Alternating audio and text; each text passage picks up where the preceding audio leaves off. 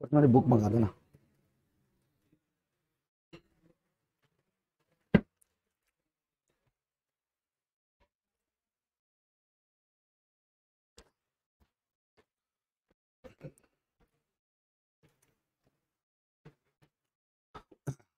आगे देखें।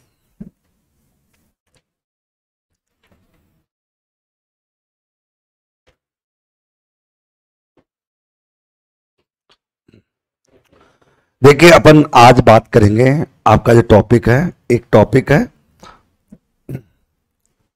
महत्वपूर्ण सांख्यिक संगठनों के बारे में।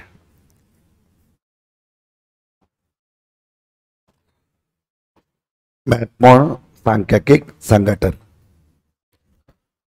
इस टॉपिक के बारे में हम बात करेंगे आज, कि जितने भी अपने स्टेटिकल ऑर्गेनाइजेशंस हैं, उनके बारे में।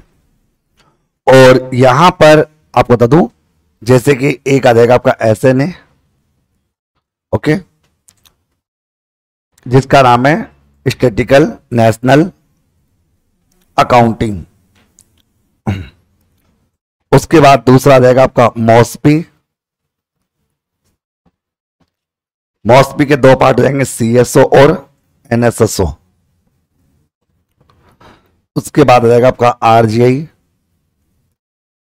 उसके बाद आपका आरबीआई, उसके बाद आपका नीति आयोग, और उसके बाद आ जाएगा आपका डीईएस।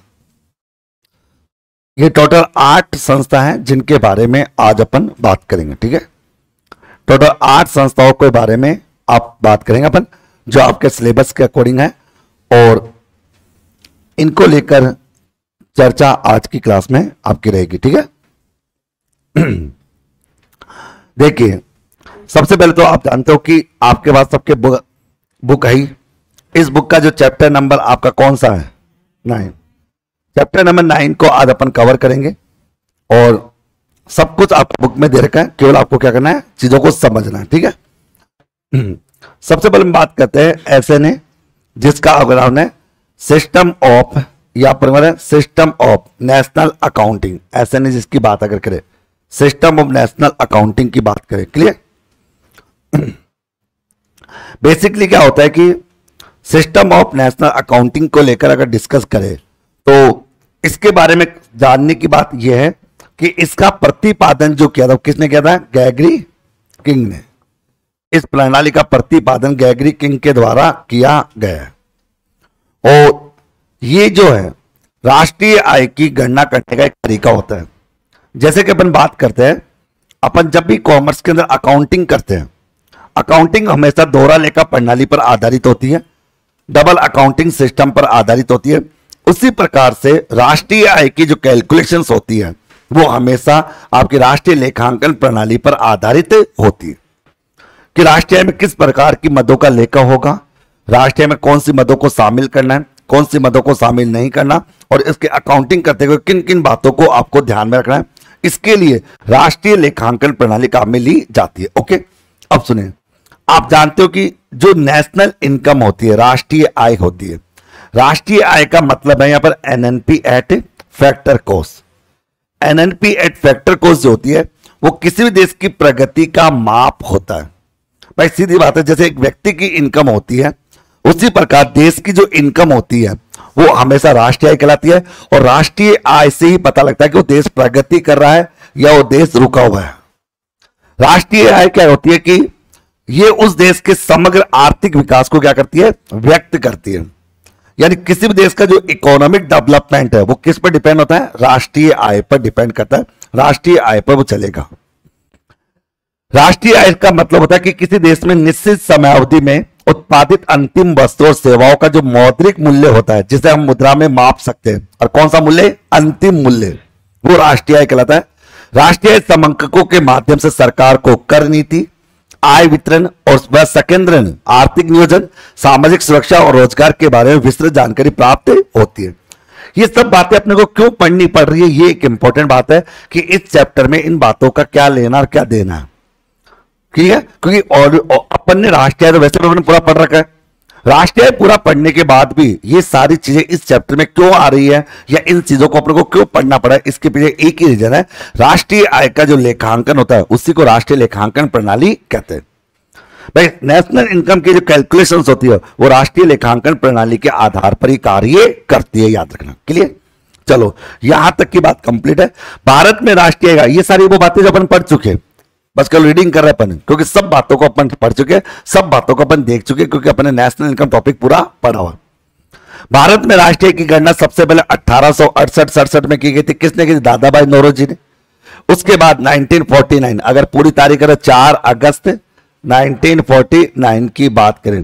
पीसी महालनोविस की अध्यक्षता में किस समिति का, राष्ट्रीय आय नियोजन समिति का गठन किया गया था, जिसके सलाहकार सदस्य साइमन कुंजनेट्स थे।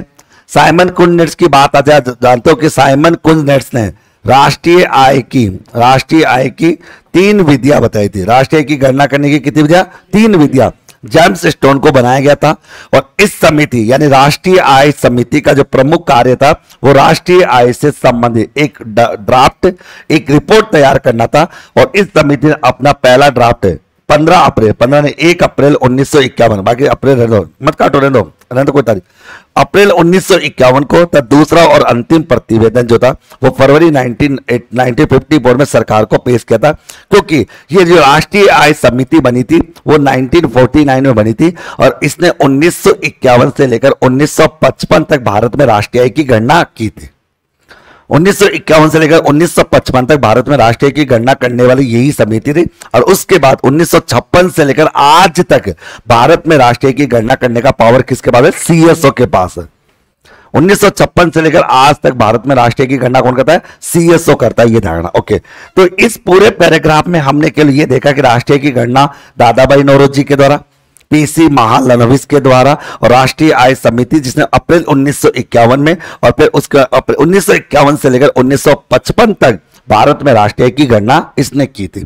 जबकि इसका अंतिम प्रतिवेदन कब आया था? उन्नीस सौ चौवन में आ गया था और उन्नीस सौ छप्पन में जब पहली बार रिपोर्ट दी थी किसने? सीएसओ ने। तब से लेकर आज तक भारत में राष्ट्रीय की गणना सीएसओ कर रहा है, ओके? जिसका वर्तमान नाम क्या हो गया? NSO okay? यहाँ तक आगे। 1950 में आप जानते हो कि राष्ट्रीय प्रति दर सर्वेक्षण निदेशालय आपका बना, जिसकी अगर बात करें तो ये कब बना? 1950 में, यानी नेशनल सैंपलिंग सर्वे ऑर्गेनाइजेशन की स्थापना की गई। राष्ट्रीय आय की गणना संबंधित कार्य करता है। ये राष्ट्रीय आय से संबंधित जो जितने भी डेटा होते हैं, उन डेटाओं का सर्वे करने का काम इसी का होता है। राष्ट्रीय आय से संबंधित कार्य बाद में राष्ट्रीय सांख्यिक संगठन। आप जानते हो, राष्ट्रीय, आप जानते सी एस ओ कब बना दो मई उन्नीस सौ इक्यावन, जिसने राष्ट्रीय के बारे में बात की। ओके, को सौंपा गया, यानी इसके बाद। और जो कि 1955 से लेकर संबंधित समंक प्रकाशित कर रहा है। यानी ये जो रिपोर्ट दे रहा है बेसिकली देखो, ये ऑथेंटिक आंसर है। उन्नीस से लेकर आज तक मतलब वर्तमान तक भारत में राष्ट्रीय की गणना कौन कर रहा है? सीएसओ कर रहा है ओके आगे सीएसओ हर साल राष्ट्रीय लेखा सांख्यिक जारी करता है। ये राष्ट्रीय लेखा सांख्यिक एक ड्राफ्ट है, एक पेपर है, एक परफॉर्मा है, एक मैगजीन समझ लो, कुछ भी समझ लीजिए। जो कौन जारी करता है? सीएस सीएसओ जारी करता है और इसी को व्हाइट पेपर कहते हैं, श्वेत पत्र कहा जाता है। और इस व्हाइट पेपर के आधार पर जो गणना होती है, जो लेखांकन होता है, उसी को राष्ट्रीय लेखांकन प्रणाली कहते हैं। सीधी बात है। यानी कहने का मतलब सीधा सा है, अगर मैं सो इन पूरे लेक्चर को, क्योंकि अपने पढ़ना तो सब कुछ है, अगर मैं कह दूँ कि राष्ट्रीय लेखा सांख्यिक ड्राफ्ट तैयार करने के लिए जो प्रणाली काम में ली जाती है, जो सिस्टम काम में ले जाता है, उस सिस्टम को राष्ट्रीय लेखांकन प्रणाली अपन कहते हैं। और राष्ट्रीय लेखा सांख्यिकी प्रणाली को तैयार करने सॉरी राष्ट्रीय लेखा सांख्यिकी कौन जारी करता है? सीएसओ कब जारी करता है? हर साल। क्यों जारी करता है? राष्ट्रीय आय के समन्वय डेटा प्रकाशित करने के लिए। अब सीधी बात है, भाई, ये समझ लीजिए कि अगर मैं आपसे एक बात करूँ कि राष्ट्रीय लेखा सांख्यिकी को तैयार करने के लिए जो प्रणाली, जो सिस्टम, जो मेथड, जो विधि काम में ली जाती है, उस विधि को S N A system of national accounting कहते हैं। राष्ट्रीय लेखांकन प्रणाली कहा जाता है। जैसे सपोज़ करो, अगर हम आपको सिम, आज अपन एक व्यापारी होता है, व्यापारी जितने भी एंट्री करता है लेजर करता है, जो भी करता है, वो दोहरा लेखा प्रणाली अपनाता है। सीधी बात अगर कॉमर्स का बच्चा तो समझेगा, भाई, आज अपन अकाउंटिंग करते तो दोहरा लेखा प्रणाली पर काम करते। उसी प्रकार राष्ट्रीय आय की भी तो एक प्रणाली होगी। राष्ट्रीय आय में कौन सी चीज़ों को लेना है, अंतिम मूल्यों को कैसे लेना है, अंतिम मूल्य ही क्यों लेना होता है? तो इसका भी कोई ना कोई सिस्टम होगा, कोई ना कोई आधार होगा। तो इसके लिए जो प्रणाली काम में ली जाती है, वो राष्ट्रीय लेखांकन प्रणाली कहलाती है। या सिंपल शब्दों कहते हैं, राष्ट्रीय लेखा सांख्यिक प्रपत्र को तैयार करने के लिए जो सिस्टम, जो मैथड, जो विधि काम में ली जाती है, उसे S N A system of national accounting कहा जाता है। सीधी बात है। और राष्ट्रीय लेखा राष्ट्रीय लेखा सांख्यिकी क्यों जारी होता है? राष्ट्रीय आय के आंकड़ों को प्रदर्शित करने के लिए कौन जारी करता है? सीएसओ कब जारी करता है? हर साल। और इसे हम व्हाइट पेपर के नाम से हम जानते हैं। डेट ऑल बात कर। आगे। आगे देखते अपन। फिर अपन राष्ट्रीय लेखा सांख्यिकी जिसे व्हाइट पेपर अपन कहते हैं। ओके के अंतर्गत अर्थव्यवस्था के विभिन्न क्षेत्र, अर्थव्यवस्था के विभिन्न क्षेत्र का मतलब प्राथमिक, द्वितीय और तृतीय, कृषि उद्योग और सेवा क्षेत्र की बात है। में उत्पादन वितरण के सांख्यिकी विवरण तैयार किए जाते हैं। भाई, सीधी सी बात है, आप सोचिए, राष्ट्रीय नेशनल अकाउंटिंग सिस्टम, ये क्यों जारी होता है? राष्ट्रीय आय के आंकड़ों को प्रदर्शित करने के लिए। और राष्ट्रीय आय की गणना में योगदान देने वाले क्षेत्र के तीन। प्राथमिक क्षेत्र, द्वितीय क्षेत्र और तृतीय क्षेत्र। तो उनके उत्पादन को लेकर, उनके वितरण को लेकर जितने भी डेटा होते हैं, उन डेटाओं को प्रदर्शित करने का कार्य इसमें किया जाता है।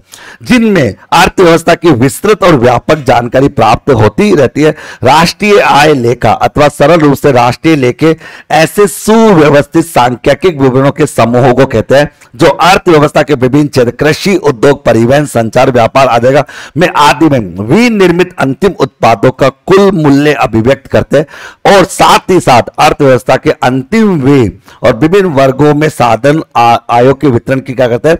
यहाँ पर विस्तृत विवरण को प्रदर्शित करते हैं। अर्थव्यवस्था में वस्तुओं के उत्पादन से लेकर उपभोक्ता तक विभिन्न लेन देन होते जिनकी कार्य प्रणाली की जानकारी इस लेखे के माध्यम से मिलती रहती है। किस लेखे? राष्ट्र का प्रणाली के माध्यम से मिलती रहती है। देखो, इस पूरे पैराग्राफ में केवल एक काम की बात है। पूरे पैराग्राफ में यह कि राष्ट्रीय आय के अंतर्गत जो योगदान देने वाले क्षेत्र है, जिसमें आपका प्राथमिक क्षेत्र आपका द्वितीय क्षेत्र और आपका तृतीय। इन तीनों क्षेत्रों से जो भी इनकम प्राप्त होती है, इन तीनों क्षेत्रों से जो भी हम उत्पादन करते हैं, जो भी हम डिस्ट्रीब्यूशन करते हैं, उन सभी प्रकार की मदों का लेखा इस राष्ट्रीय लेखा सांख्यिकी में होता है। और राष्ट्रीय लेखा सांख्यिकी में जिस प्रकार होता है, वो राष्ट्रीय लेखांकन प्रणाली कहलाती है। यानी आप ये समझिए, राष्ट्रीय लेखांकन प्रणाली एक तरीका है, एक रास्ता है, एक वे है। लेखा करने का, यानी राष्ट्रीय लेखा सांख्यिक जो प्रपत्र होता है, उसके अंतर्गत मदों को दर्शाने का जो सिस्टम होता है, या उसके अंदर जिस प्रकार मदों को हम प्रदर्शित करते हैं, उस सिस्टम को ही हम राष्ट्रीय लेखांकन प्रणाली कहते हैं। ओके याद रखा भारत में राष्ट्रीय का आकलन उत्पादन विधि और आय विधि के माध्यम से होता है। आप देखना, वैसे तो आपको याद है कि मैंने बताया कि साइमन कुंजनेट्स ने भारत में राष्ट्रीय, साइमन कुंजनेट्स ने राष्ट्रीय आय की गणना करने की विधि के तहत तीन बताए। उत्पाद विधि, आय विधि और वे विधि लेकिन ध्यान रखना बेसिकली भारत में विधि दो ही काम आती है। अगर आपसे कोई पूछे कि भारत में राष्ट्रीय की गणना करने के लिए कितनी विधियाँ होती है, दो। हालाँकि देखो, इस चीज़ का आंसर आपको क्वेश्चन के आधार पर देना तीन देना दो वैसे तीन होती है, लेकिन भारत में दो आती है। वे विधि भारत में काम में नहीं लेते, लेकिन पिछली बार भी एग्ज़ाम में क्वेश्चन आया था कि वे विधि का उपयोग कौन से क्षेत्रों में किया जाता है? उद्योग क्षेत्र। ये प्रश्न आया हुआ ठीक है? तो आप जानते हो कि साइमन कुंजनेट से एक तो उत्पाद विधि बताइए अब आप बताइए, उत्पाद विधि जो होती है, उत्पाद विधि का उपयोग कौन से क्षेत्र होता है? कृषि क्षेत्र होता है। ओके। एक होती है आपकी आय विधि। आय विधि का उपयोग कहाँ होता है? सेवा क्षेत्र। कहाँ होता है? सेवा। और एक होती है आपकी वे विधि। वे विधि का उपयोग कहाँ होता है आपका? उद्योग क्षेत्रों के अंतर्गत होता है। ओके। वे विधि को हम उपभोग बचत विधि बोल ले तो क्या गलत है क्या? भाई, इसे उपभोग बचत विधि कह ले, उत्पाद विधि को मूल्य वर्धित विधि कहा जाए तो क्या गलत है क्या? इसको मूल्य वर्धित विधि कह दे तो क्या गलत है क्या? आगे तो इस प्रकार से इन सब का आकलन होता है, इन सब। भाई, ये सब विधियाँ काम में ले जाती है। तो ये विधियाँ किसी न किसी प्रकार से तो काम में लेती है? कि उत्पाद विधि में उत्पादित वस्तु के अंतिम मूल्य को शामिल किया जाता है। आय विधि में उत्पादन के चारों साधनों से मिलने वाले प्रतिबल को शामिल किया जाता है।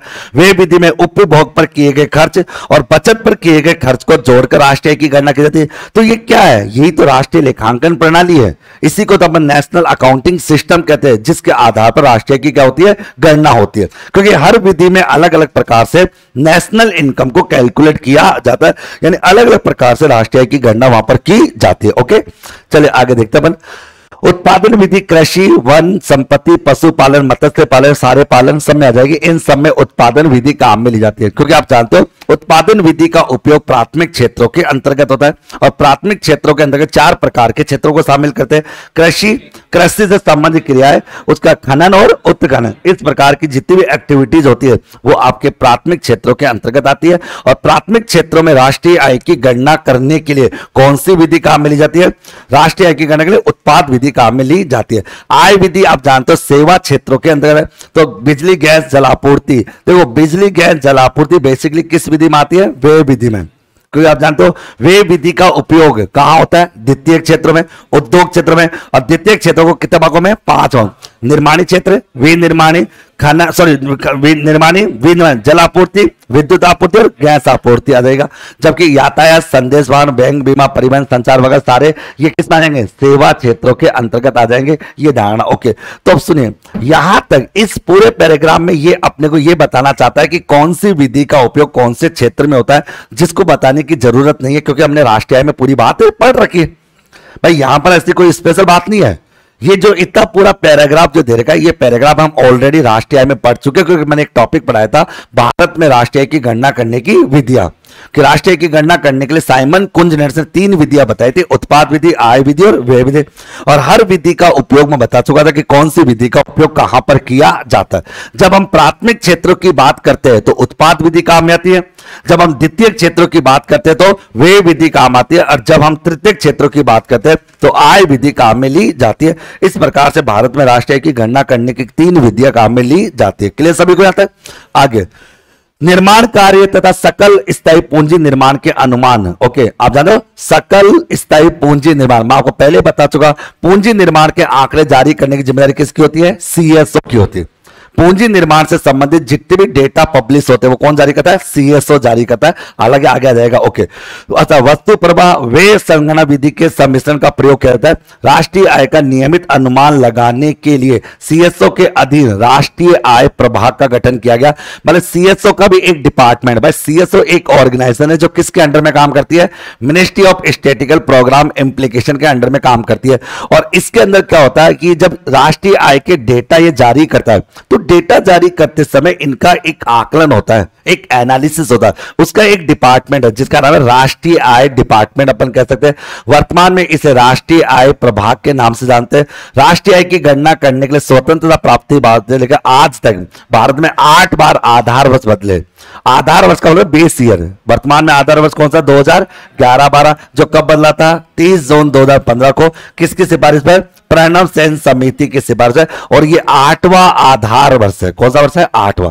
इससे पहले कौन से इससे मतलब ये धारणा 2011-12 से पहले 2004-5 था और सबसे पहला था 1948 से उन्नीस भाई, राष्ट्रीय की गणना करने का सबसे पहला बेस ईयर कौन सा था? 1948 से उन्नीस उसके बाद वर्तमान में कौन सा है? ग्यारह बारह। और इससे पहले कौन सा था? दो हज़ार बाकी बीच के क्या थे? मतलब नहीं है। ग्यारह बारह को आधार वर्ष कब बनाया गया, तीस जनवरी दो को। किस समिति की सिफारिश है?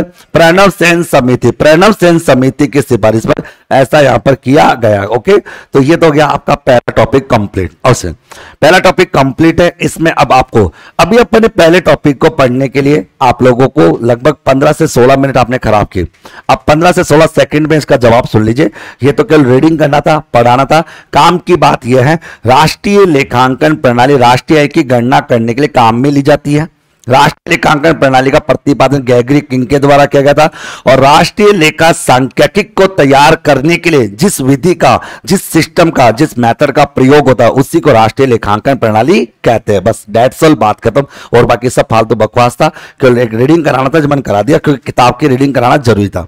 ये काम की बात थी। बाकी इसमें कोई प्रश्न आपका नहीं बनता, किसी भी प्रकार का कोई दिमाग लगाने की आवश्यकता नहीं है। मैंने सारी बात आपको अच्छे से समझा दी। क्लियर सभी को? अरे क्लियर ना? तो आठ में से एक टॉपिक आपका कंप्लीट क्लियर सभी को? अरे यस या नो पक्का सबको? श्योर सभी को? दो मिनट के अंदर फटाफट रीडिंग कर लो। तीस जनवरी है आज जन, जन तो इसको जनवरी कर लो। तीस जनवरी 2015 तीस जनवरी दो हज़ार पंद्रह है। प्रणव सेन समिति की सिफारिश पर राष्ट्रीय की गणना के आधार वर्ष को क्या कर दिया था? बदल दिया गया। दो मिनट का टाइम दे रहा हूँ। बुक को आराम से रीड कर लो अच्छे से, क्योंकि आटो का आटो टॉपिक यहीं पर पढ़ना है। ये नहीं कि बाद में पढ़ लेंगे, देख लेंगे, कर लेंगे। ना तो देखना है। जो देखना है, यही देखना आज।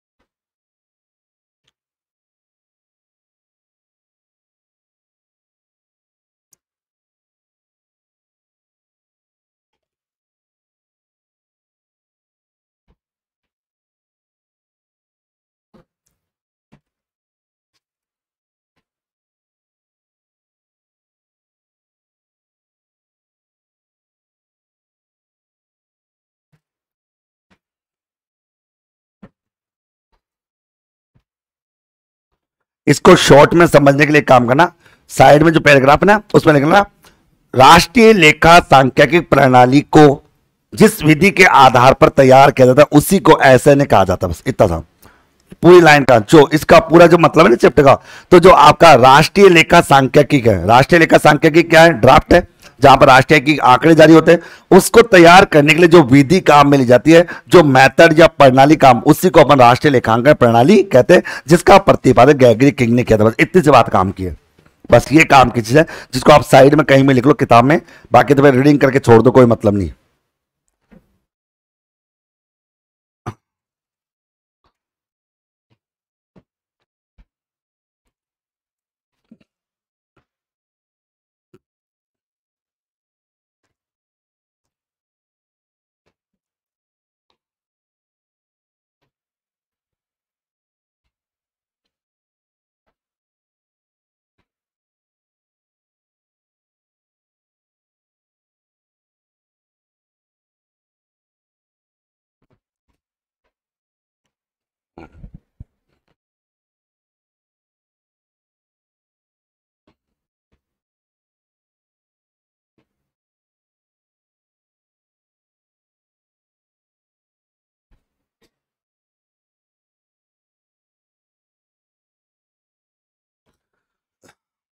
चले चलो, आगे चलो।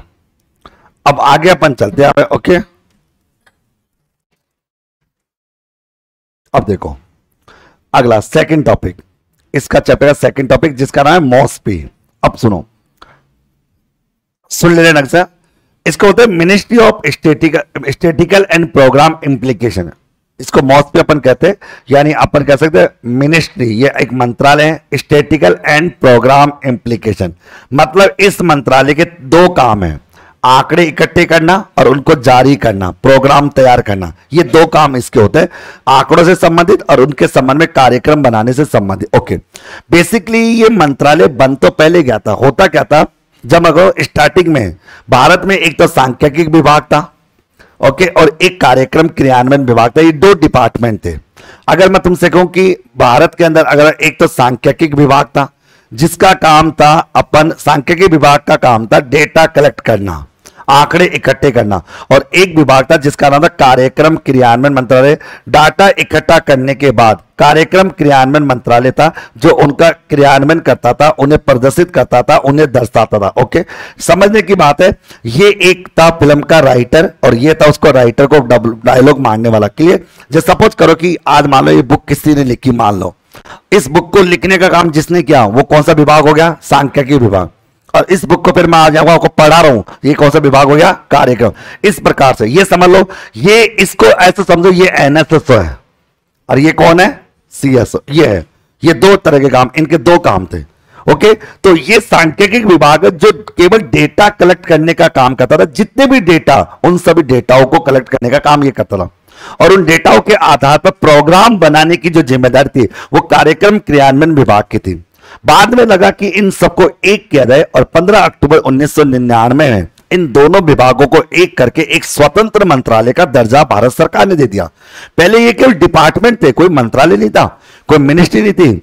लेकिन बाद में 15 अक्टूबर 1999 में इन दोनों विभागों का विलय कर दिया गया, इनको मर्ज कर दिया गया और एक स्वतंत्र मंत्रालय का दर्जा दे दिया गया। और मंत्रालय बन गया तो इसका अध्यक्ष मंत्री होगा कोई ना कोई। भाई, मंत्रालय तो कोई ना कोई मंत्री होगा जैसे रक्षा मंत्रालय, वित्त मंत्रालय, हर तरह का एक मंत्रालय होता है, उसका कोई ना कोई क्या होता है, एक मंत्री होता है। तो सिंपल सवाल है, इसका भी कोई ना कोई मंत्री होगा। अच्छा इसका वर्तमान मंत्री कौन है? कौन है? जो भी, क्या नाम है? समझ क्या बोला? ठीक है। राम इंद्रजीत, अब सुनो तो अपन ये कह सकते हैं, इसका भी एक मंत्रालय तो इसका भी कोई ना कोई एक मंत्री होगा, आप जानते ओके, अब सुनो तो ये मंत्रालय बना कब? 15 अक्टूबर 1999 में, दो विभागों को मर्ज करके बना। सांख्यिकी विभाग और कार्यक्रम क्रियान्वयन मंत्रालय, इन दोनों को जोड़कर इस विभाग का विलय विलय मतलब मर्ज करने के बाद एक स्वतंत्र मंत्रालय के रूप में सांख्यिकी कार्यक्रम क्रियान्वयन मंत्रालय का गठन कर दिया गया। कब कर दिया गया? 15 अक्टूबर उन्नीस सौ निन्यानवे। कितने विभागों को जोड़कर? दो सांख्यिकी विभाग और कार्यक्रम क्रियान्वयन मंत्रालय विभाग, इन सबको जोड़कर अपन बात यहाँ तक आ जाएगा तो दर्जा दिया और इस मंत्रालय की दो शाखा है। कितनी शाखा है? दो। भाई, दो काम है। एक का काम है सांख्यिकी से संबंधित और दूसरा कार्यक्रम क्रियान्वयन। वही बात है, जो विभाग सांख्यिक था उसका आंकड़े इकट्ठे करना और एक है उस आंकड़ों के आधार पर कार्यक्रम तैयार करना। मैं सिंपल शब्दों कह दू, ये सांख्यिक संबंधित जो काम है, वो तो एनएसएसओ को दे दिया। और कार्यक्रम से संबंधित काम किसको? सीएसओ तभी तो एनएसएसओ और सीएसओ मॉस्पी की एजेंसियाँ हैं।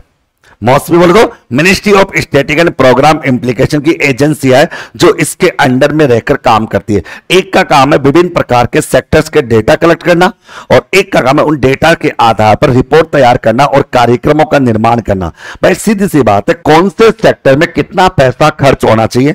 कौन सी पंचवर्षीय योजना में किस सेक्टर को प्राथमिकता देनी चाहिए? यह काम कार्यक्रम मंत्रालय का इसका, कार्यक्रम क्रियान्वयन मंत्रालय का। और ये कार्यक्रम क्रियान्वयन मंत्रालय जो है, ये काम कैसे करता है? डेटाओं के आधार पर। और डेटा लाके कौन देता है? एनएसएसओ यानी आपका सांख्यिक संबंधित जो शाखा है, वो इसके डेटा लाने का कार्य करती है। तो अगर मैं तुमसे बात करूँ 1945 की बात करें 1945 के समय की बात करें, आज़ादी के समय की बात करें, दो विभाग थे, सांख्यिकी विभाग और कार्यक्रम क्रियान्वयन विभाग। दोनों विभागों को 15 अक्टूबर 1999 में मर्ज कर दिया जाता है और मर्ज करके एक अलग से भारत सरकार के द्वारा मंत्रालय का दर्जा दे दिया जाता है।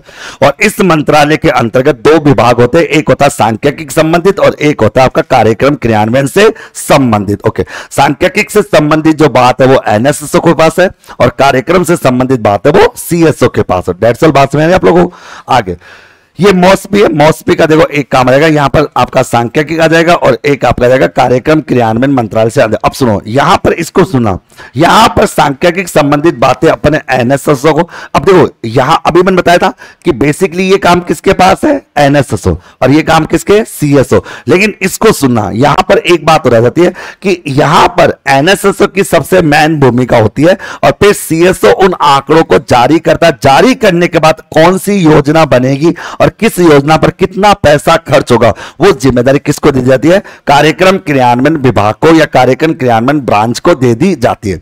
कभी कभी आपके मन में ख्याल आता होगा कि कौन सी योजना पर कितना पैसा खर्च होता है या कौन सी योजना कहाँ पर लागू होनी चाहिए? ये पता कैसे पड़ता है? ये डेटाओं से पता पड़ता है कि कौन से एरिया के डेटा कैसे आपके सिलेबस में एक टॉपिक है जीवन समंग।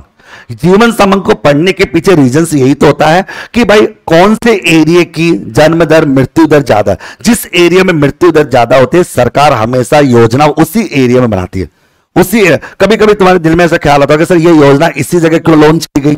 ये योजना और जगह लॉन्च क्यों नहीं की गई? तो हर योजना कहीं ना कहीं लॉन्च करने के पीछे कोई ना कोई पर्पज होता है, कोई ना कोई उद्देश्य होता है, बिना उद्देश्य। और ये सब काम इस कार्यक्रम क्रियान्वयन मंत्रालय के होता है। भाई, ये तो सारे डेटा इकट्ठे करते डेटाओं को पब्लिश करते उन डेटाओं के आधार पर कौन सी योजना कहाँ बनेगी, उस योजना का नाम क्या होगा, और उस योजना को इंप्लीकेट कैसे किया जाएगा, वो कार्यक्रम क्रियान्वयन विभाग के द्वारा कर लिया जाता है, जो मेनली सीएसओ सीएसओ के पास होती है। ओके यहाँ तक आपको ध्यान रखना आगे। इन दो शाखाओं के अलावा भारत सरकार के एक प्रस्ताव के माध्यम से सृजित राष्ट्रीय सांख्यिकी आयोग और संसद के एक अधिनियम द्वारा राष्ट्रीय महत्व के संस्थान के रूप में एक स्वायत्त संस्था, भारतीय सांख्यिकी संस्थान की भी स्थापना की गई। मतलब ये दो शाखा ही नहीं, इनके अलावा और भी कई इस मौसमी के अंडर में है, जो आता है। यानी इन दो शाखाओं के भी अलावा भारत सरकार के एक ड्राफ्ट के माध्यम से एक तो राष्ट्रीय सांख्यिकी आयोग का गठन किया गया और एक भारतीय सांख्यिकी संस्थान की स्थापना की गई, जो एक स्वायत्त शासित संस्था स्वायत्त शासित संस्था वो होती है जिसके अपने खुद के कुछ नियम होते हैं, जिस पर किसी का कोई कंट्रोल नहीं होता, अपने रूल्स एंड रेगुलेशन खुद बनाने का अधिकार वो रखती है। आगे, सांख्यिकी और कार्यक्रम क्रियान्वयन मंत्रालय देश में जारी सांख्यिकी के विस्तार और गुणवत्ता के पहलों को पर्याप्त महत्व देता है। जारी की गई सांख्यिकी प्रशासनिक सोर्सेज सर्वेक्षण तथा केंद्र और राज्य सरकार और गैर सरकारी स्त्रोतों द्वारा आयोजित गणना और अध्ययनों पर आधारित होती है। सांख्यिकी जो ये मंत्रालय मंत्रालय के द्वारा जारी सांख्यिकी की गुणवत्ता पर बल देते हुए राष्ट्रीय लेखों के समेकन से संबंधित विधि मतलब विधान तक मुद्दों की जाँच, राष्ट्रीय लेखों संबंधित सलाहकार समिति, औद्योगिक सांख्यिकी संबंधित स्थायी और मूल्य सूचकांकों संबंधित तकनीकी सलाहकार समिति जारी की जाती है। ओके। भारत तो आईएमएफ के विशेष आंकड़े प्रसार मानक का एक अभिनेता मानते हैं।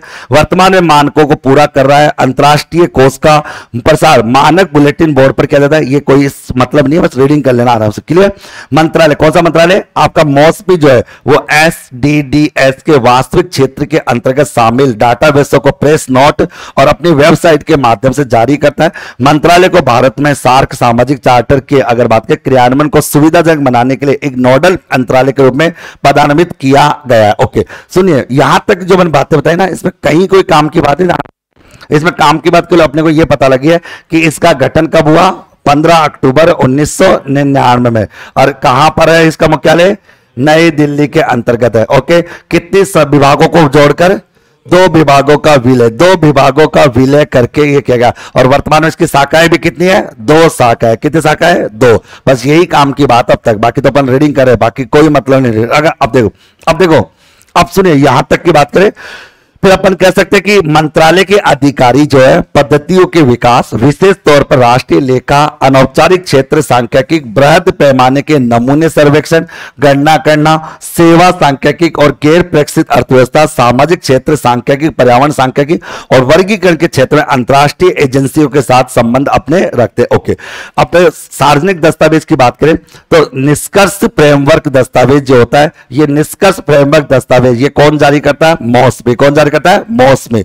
और भारत असामाजिक आर्थिक सांख्यिक ये भी कौन जारी करता है अपना? मौसमी के द्वारा जारी किया जाता है। भारत में महिला पुरुष रिपोर्ट, ये भी मौसमी जारी करता है। राष्ट्रीय लेखा सांख्यिकी मौसमी जारी करता है। ऊर्जा सांख्यिकी भारत में युवा, ये सब ड्राफ्ट है। ये क्या सब आपके ड्राफ्ट है? यानी सेवा, उत्पादन सूचकांक स्वच्छ status report, basic static for local level development. ये सब किसके द्वारा जारी होते हैं? मौसमी के द्वारा जारी किए जाते ओके। अच्छा वर्तमान में कौन था? राव इंद्रजीत। ओके आगे। तो राव इंद्रजीत इसको हटा वर्तमान। राव इंद्रजीत कौन है? राव इंद्रजीत। राव इंद्रजीत इसके वर्तमान में कौन है? केंद्रीय मंत्री। आपको याद रखना के लिए अब सुनो। राव इंद्रजीत वर्तमान इसके केंद्रीय मंत्री। अब सुनो। पूरी रीडिंग अपनी कर ली। इसमें केवल कर, बस केवल ठीक है? लिखना था पढ़ना था पढ़ लिया। कोई काम का नहीं था। काम की बातें केवल इतनी है। अगर मैं सिंपल शब्दों में दो मिनट बता दूँ कि मौसमी का गठन 15 अक्टूबर 1999 को दो विभागों को जोड़कर किया गया। सांख्यिकी विभाग और कार्यक्रम क्रियान्वयन विभाग को जोड़कर किया गया, जिसके अंतर्गत वर्तमान में दो तरह की शाखा है, सांख्यिक और कार्यक्रम क्रियान्वयन से संबंधित। ओके, ये आपका काम करता है। इसके साथ साथ आप जानते हो, इसका जो प्रमुख होता है, वो मंत्री होता है, जो कौन है? राव इंदर जीत है ओके, ये याद रखना है। और स्टेटिक से संबंधित जितनी भी बातें है तो ये एक नोडल, एक है ना एक स्वायत्त शासित संस्था के तौर पर काम करती है। यानी ये समझ लो कि सीएसओ और एनएसओ इसी की एजेंसियाँ। सीएसओ और एनएसएसओ जो भी वर्क करी वो इसी के अंडर में करी और इसी के बिहार पर वो कार्य कर रही है। बस ये आपको याद रखना बाकी तो सब रीडिंग थी जो मैंने कर ली, जो आपको मैं टाइम दे रहा हूँ, अब आप लोग रीडिंग करो फटाफट। दूसरा टॉपिक खत्म कर लो। बाकी तो चल, ठीक है रीडिंग करके छोड़ देना। समीकरण होता है कलेक्शन इकट्ठा करना। कंपाइल करना, जोड़ना। आराम से रीडिंग कर लो, दो मिनट आराम से। ये समझ के पढ़ना कि आज इस चैप्टर को पूरा पढ़ना अपने को।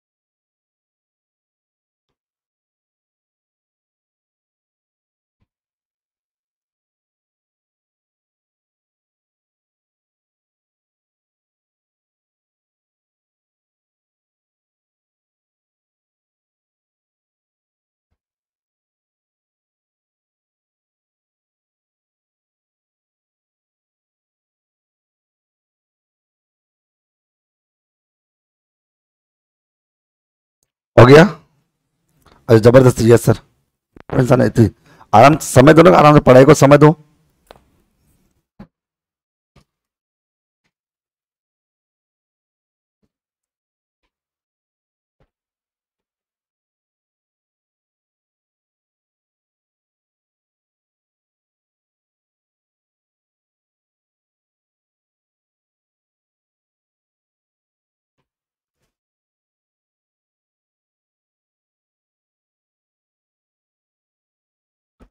चलिए। ठीक है? अब सुनो। अपने दो संस्था हो गई, अब अपनी तीसरी संस्था कौन सी अपनी सीएसओ अब सुनो। केंद्रीय सांख्यिकी कार्यालय, इसको अपन सीएसओ बोलते हैं सेंट्रल स्टेटिकल ऑफ़िस पहले ये नाम था सेंट्रल स्टेटिकल ऑर्गेनाइजेशन अब इसका नाम होगा सेंट्रल स्टेटिकल ऑफ़िस अपना हो गया। अगर केंद्रीय सांख्यिकी कार्यालय कार्यालय की बात करें, अब सुनो। बेसिक आता थे, आंकड़ों के इकट्ठा करने, उनका विश्लेषण और प्रकाशन। कार्य के क्षेत्र में केंद्रीय सांख्यिकी संगठन का अत्यधिक महत्वपूर्ण योगदान होता। है आप जानते हो, भाई, डाटाओं को इकट्ठा करने की ज़िम्मेदारी तो एनएसएसओ की है। लेकिन उन इकट्ठे किए गए डाटाओं का एनालिसिस करना और उन्हें पब्लिश करना, ये ज़िम्मेदारी किसकी है? केंद्रीय सांख्यिकी संगठन की है, जिसकी स्थापना 2 मई उन्नीस सौ इक्यावन में मंत्रिमंडल सचिवालय के अधीन सरकार को सांख्यिकी मामलों पर समुचित परामर्श देने के लिए की गई है। मतलब इस संस्था की स्थापना सीएसओ की स्थापना जो है, वो कब हुई? दो मई उन्नीस सौ इक्यावन में की गई है ओके और इस जो है, ये किसकी नोडल एजेंसी के तौर पर? मौसमी ये मौसमी की नोडल एजेंसी है, जिसका काम है सरकार को सांख्यिक मामलों पर समुचित परामर्श देना। स्टेटिकल डेटा के बारे में सही तरीके से परामर्श देने की ज़िम्मेदारी इसी संस्था को यहाँ पर दी गई। 1961 से यह संस्था संगठन राष्ट्रीय प्रतिदस्त सर्वेक्षण निदेशालय, केंद्रीय सचिवालय के अधीन सह स्थापित सांख्यिकी विभाग के तत्वाधान में कार्य कर रही है। कहने का मतलब इस पूरे पैराग्राफ की बात अगर करें, इस पैराग्राफ में बात आती है दो मई उन्नीस नई दिल्ली में इसका मुख्यालय और सरकार को सांख्यिकी मामलों के संबंध में सलाह देना और उनके बारे में अपनी रिपोर्ट प्रस्तुत करना, यही इसका मेन कार्य होता है। बाकी इसमें कोई काम की बात इसमें नहीं है, ओके? फिर अपन देखते हैं यहाँ पर कि इसका मुख्यालय कहाँ पर है? नई दिल्ली में। वर्तमान में यह संगठन सांख्यिकी कार्यक्रम क्रियान्वयन मंत्रालय भारत सरकार के अंडर में कार्य करती है। इस संगठन को केंद्रीय सांख्यिकी कार्यालय के नाम से जानते हैं, क्योंकि पहले यह संगठन था, अब क्या हो गया? ऑफ़िस हो गया। आगे, केंद्रीय सांख्यिकी कार्यालय का संचालन एक डायरेक्टर के द्वारा किया जाता है।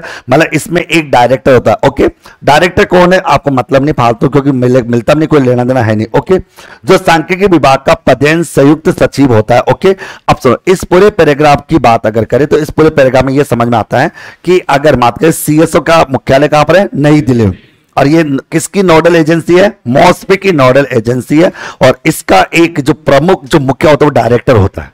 वो कौन होता अपना डायरेक्टर होता है, ये आपको याद रखना आगे। अब देखो, इसमें एक डायरेक्टर महानिदेशक होता है, एक अपर महानिदेशक होता है, ये होता है मतलब इसमें एक राष्ट्रीय लेखा प्रभाग होता है, सामाजिक सांख्यिक प्रभाग होता है, अर्थ, ये इसके डिपार्टमेंट यानी सीएसओ के कुछ डिपार्टमेंट होते हैं जो अपना अपना कार्य बखूबी यहाँ पर करते रहते आगे। फिर आता है सीएसओ की औद्योगिक शाखा कहाँ पर है? कोलकाता में। क्योंकि पीसी महालनोविस कहाँ के कोलकाता के आगे। केंद्रीय सांख्यिकी कार्यालय द्वारा राष्ट्रीय लेखियों का संकलन करना, औद्योगिक उत्पादन सूचकांक जारी करना, उद्योगों का वार्षिक सर्वेक्षण, आर्थिक गणना का आयोजन और उपभोक्ता मूल्य सूचकांक जारी करना, ये इसके कुछ कार्य होते। हैं मैं अगर सुनाऊ, सीएसओ के पाँच काम होते जो मैं आपको पहले राष्ट्रीय में पढ़ा चुका। सीएसओ के मेनली पाँच काम होते जो मतलब सबसे पहले हर तीन महीने में जीडीपी के आंकड़े जारी करना। हर तीन महीने में जीडीपी के आंकड़े कौन जारी करता है? सीएसओ मतलब जीडीपी के आंकड़े साल में कितनी बार जारी होते हैं? चार बार। 1996 97 से जीडीपी के आंकड़े साल में चार बार जारी होते हैं। और जीडीपी के आंकड़े जारी करने का पावर किसके पास है? सीएसओ के पास। किसके पास है? सीएसओ के पास है। ओके दूसरा हर साल राष्ट्र, प्रति व्यक्ति आय की गणना करना, प्रति व्यक्ति आय की गणना करने का पावर किसके पास है? सीएसओ के पास है। मतलब राष्ट्रीय आय की रिपोर्ट जारी करना सीएसओ का काम है। तीसरा, औद्योगिक उत्पादन सूचकांक जारी करता है हर महीने। चौथा, प्रति सॉरी अपना उपभोक्ता मूल्य सूचकांक जारी करता है हर महीने। और पूंजी निर्माण के संबंध में डेटा जारी करने की ज़िम्मेदारी किसकी है? सीएसओ की। ये सीएसओ के कुछ कार्य होते हैं। कितने कार्य? पाँच। हर तीन महीने में जीडीपी के आंकड़े जारी करना। हर साल राष्ट्रीय आय, प्रति व्यक्ति आय के आंकड़े जारी करना, हर महीने उपभोक्ता मूल्य सूचकांक की रिपोर्ट जारी करना, हर महीने औद्योगिक उत्पादन सूचकांक की रिपोर्ट जारी करना, और हर साल पूंजी निर्माण से संबंधित डेटा पब्लिश करना। यह सारा काम किसका है? सीएस होगा किसका है? सीएस होगा बात समझ आ रही है आप लोगों को? अरे यस या नो पक्का सभी को यहाँ तक? आगे। अपन कह सकते हैं यहाँ पर कि केंद्रीय सांख्यिकी कार्यालय के काम, ये क्या करता है? समन्वय करता है कोऑर्डिनेशन करता है विभिन्न प्रकार के सांख्यिक संगठनों के बीच में।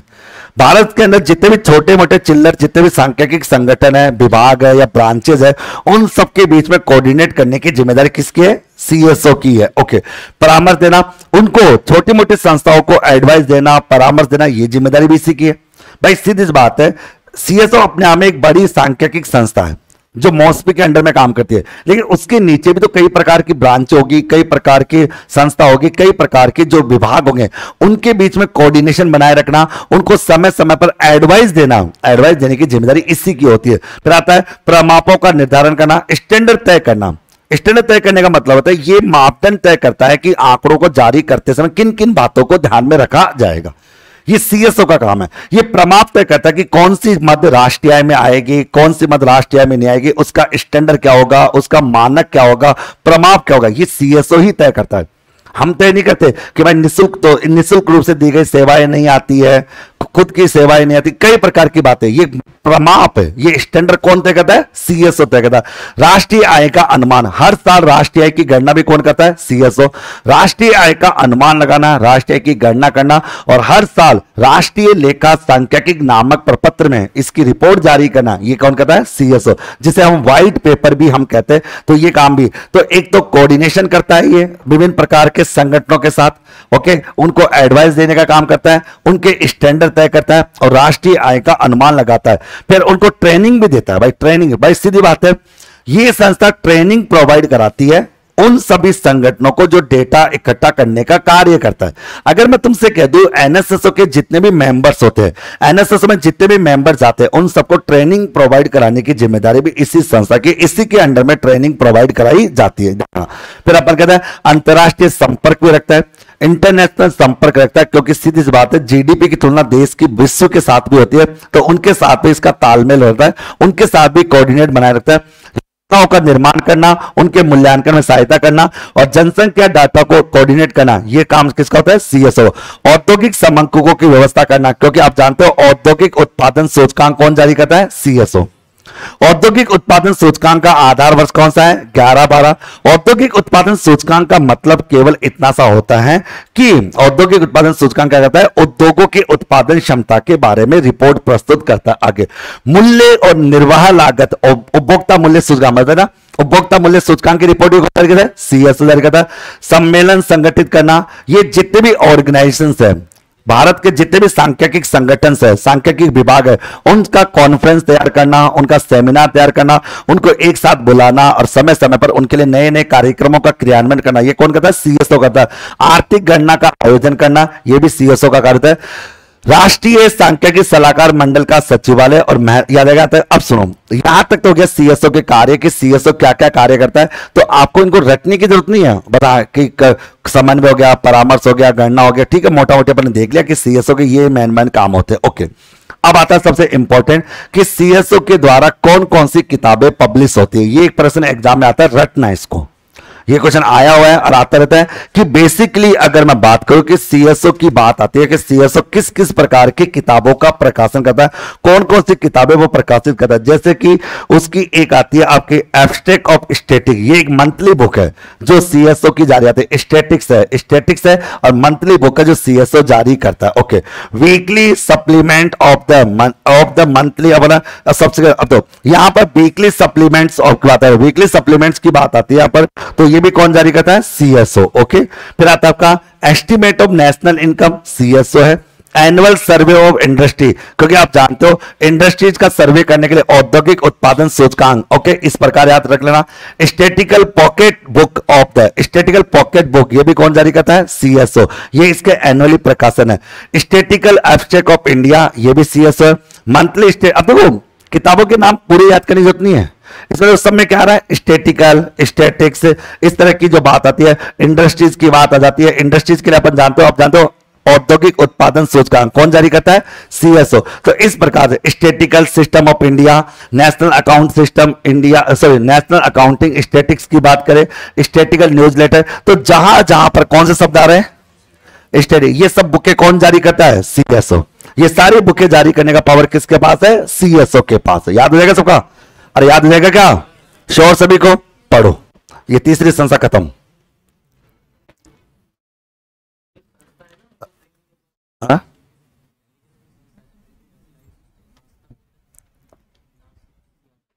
वो तो वो तो संस्था थोड़ी वो।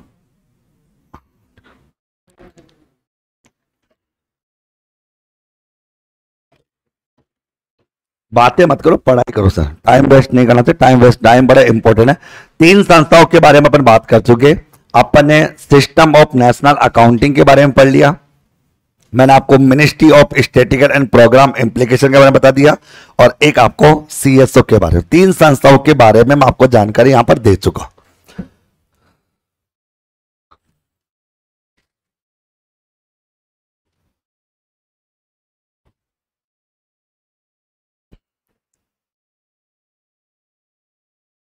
अच्छे से दिल से रीडिंग करो ढंग से एक एक पॉइंट को।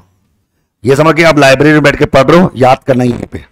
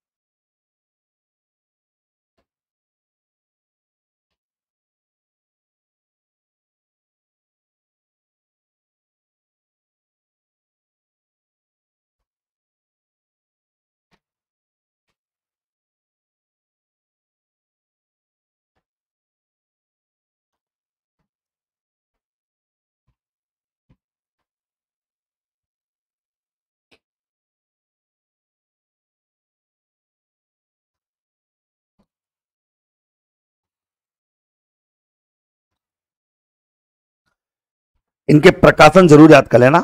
प्रकाशन, क्योंकि सीएसओ अपन ऑलरेडी पढ़ लिए थे। भाई सीएसओ तो अपने राष्ट्रीय में पढ़ लिया था ना, बस इनके प्रकाशन और पढ़ लो, बस खत्म बात हो गया। सीएसओ और एनएसओ अपन पढ़ चुके थे, कोई बड़ी बात थी नहीं।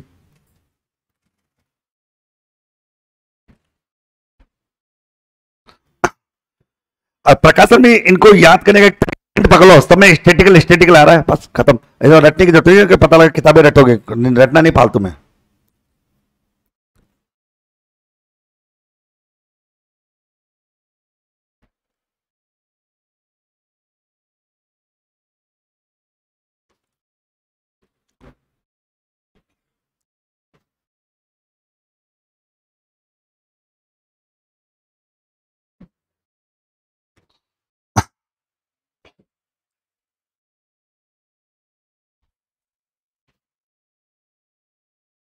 गया।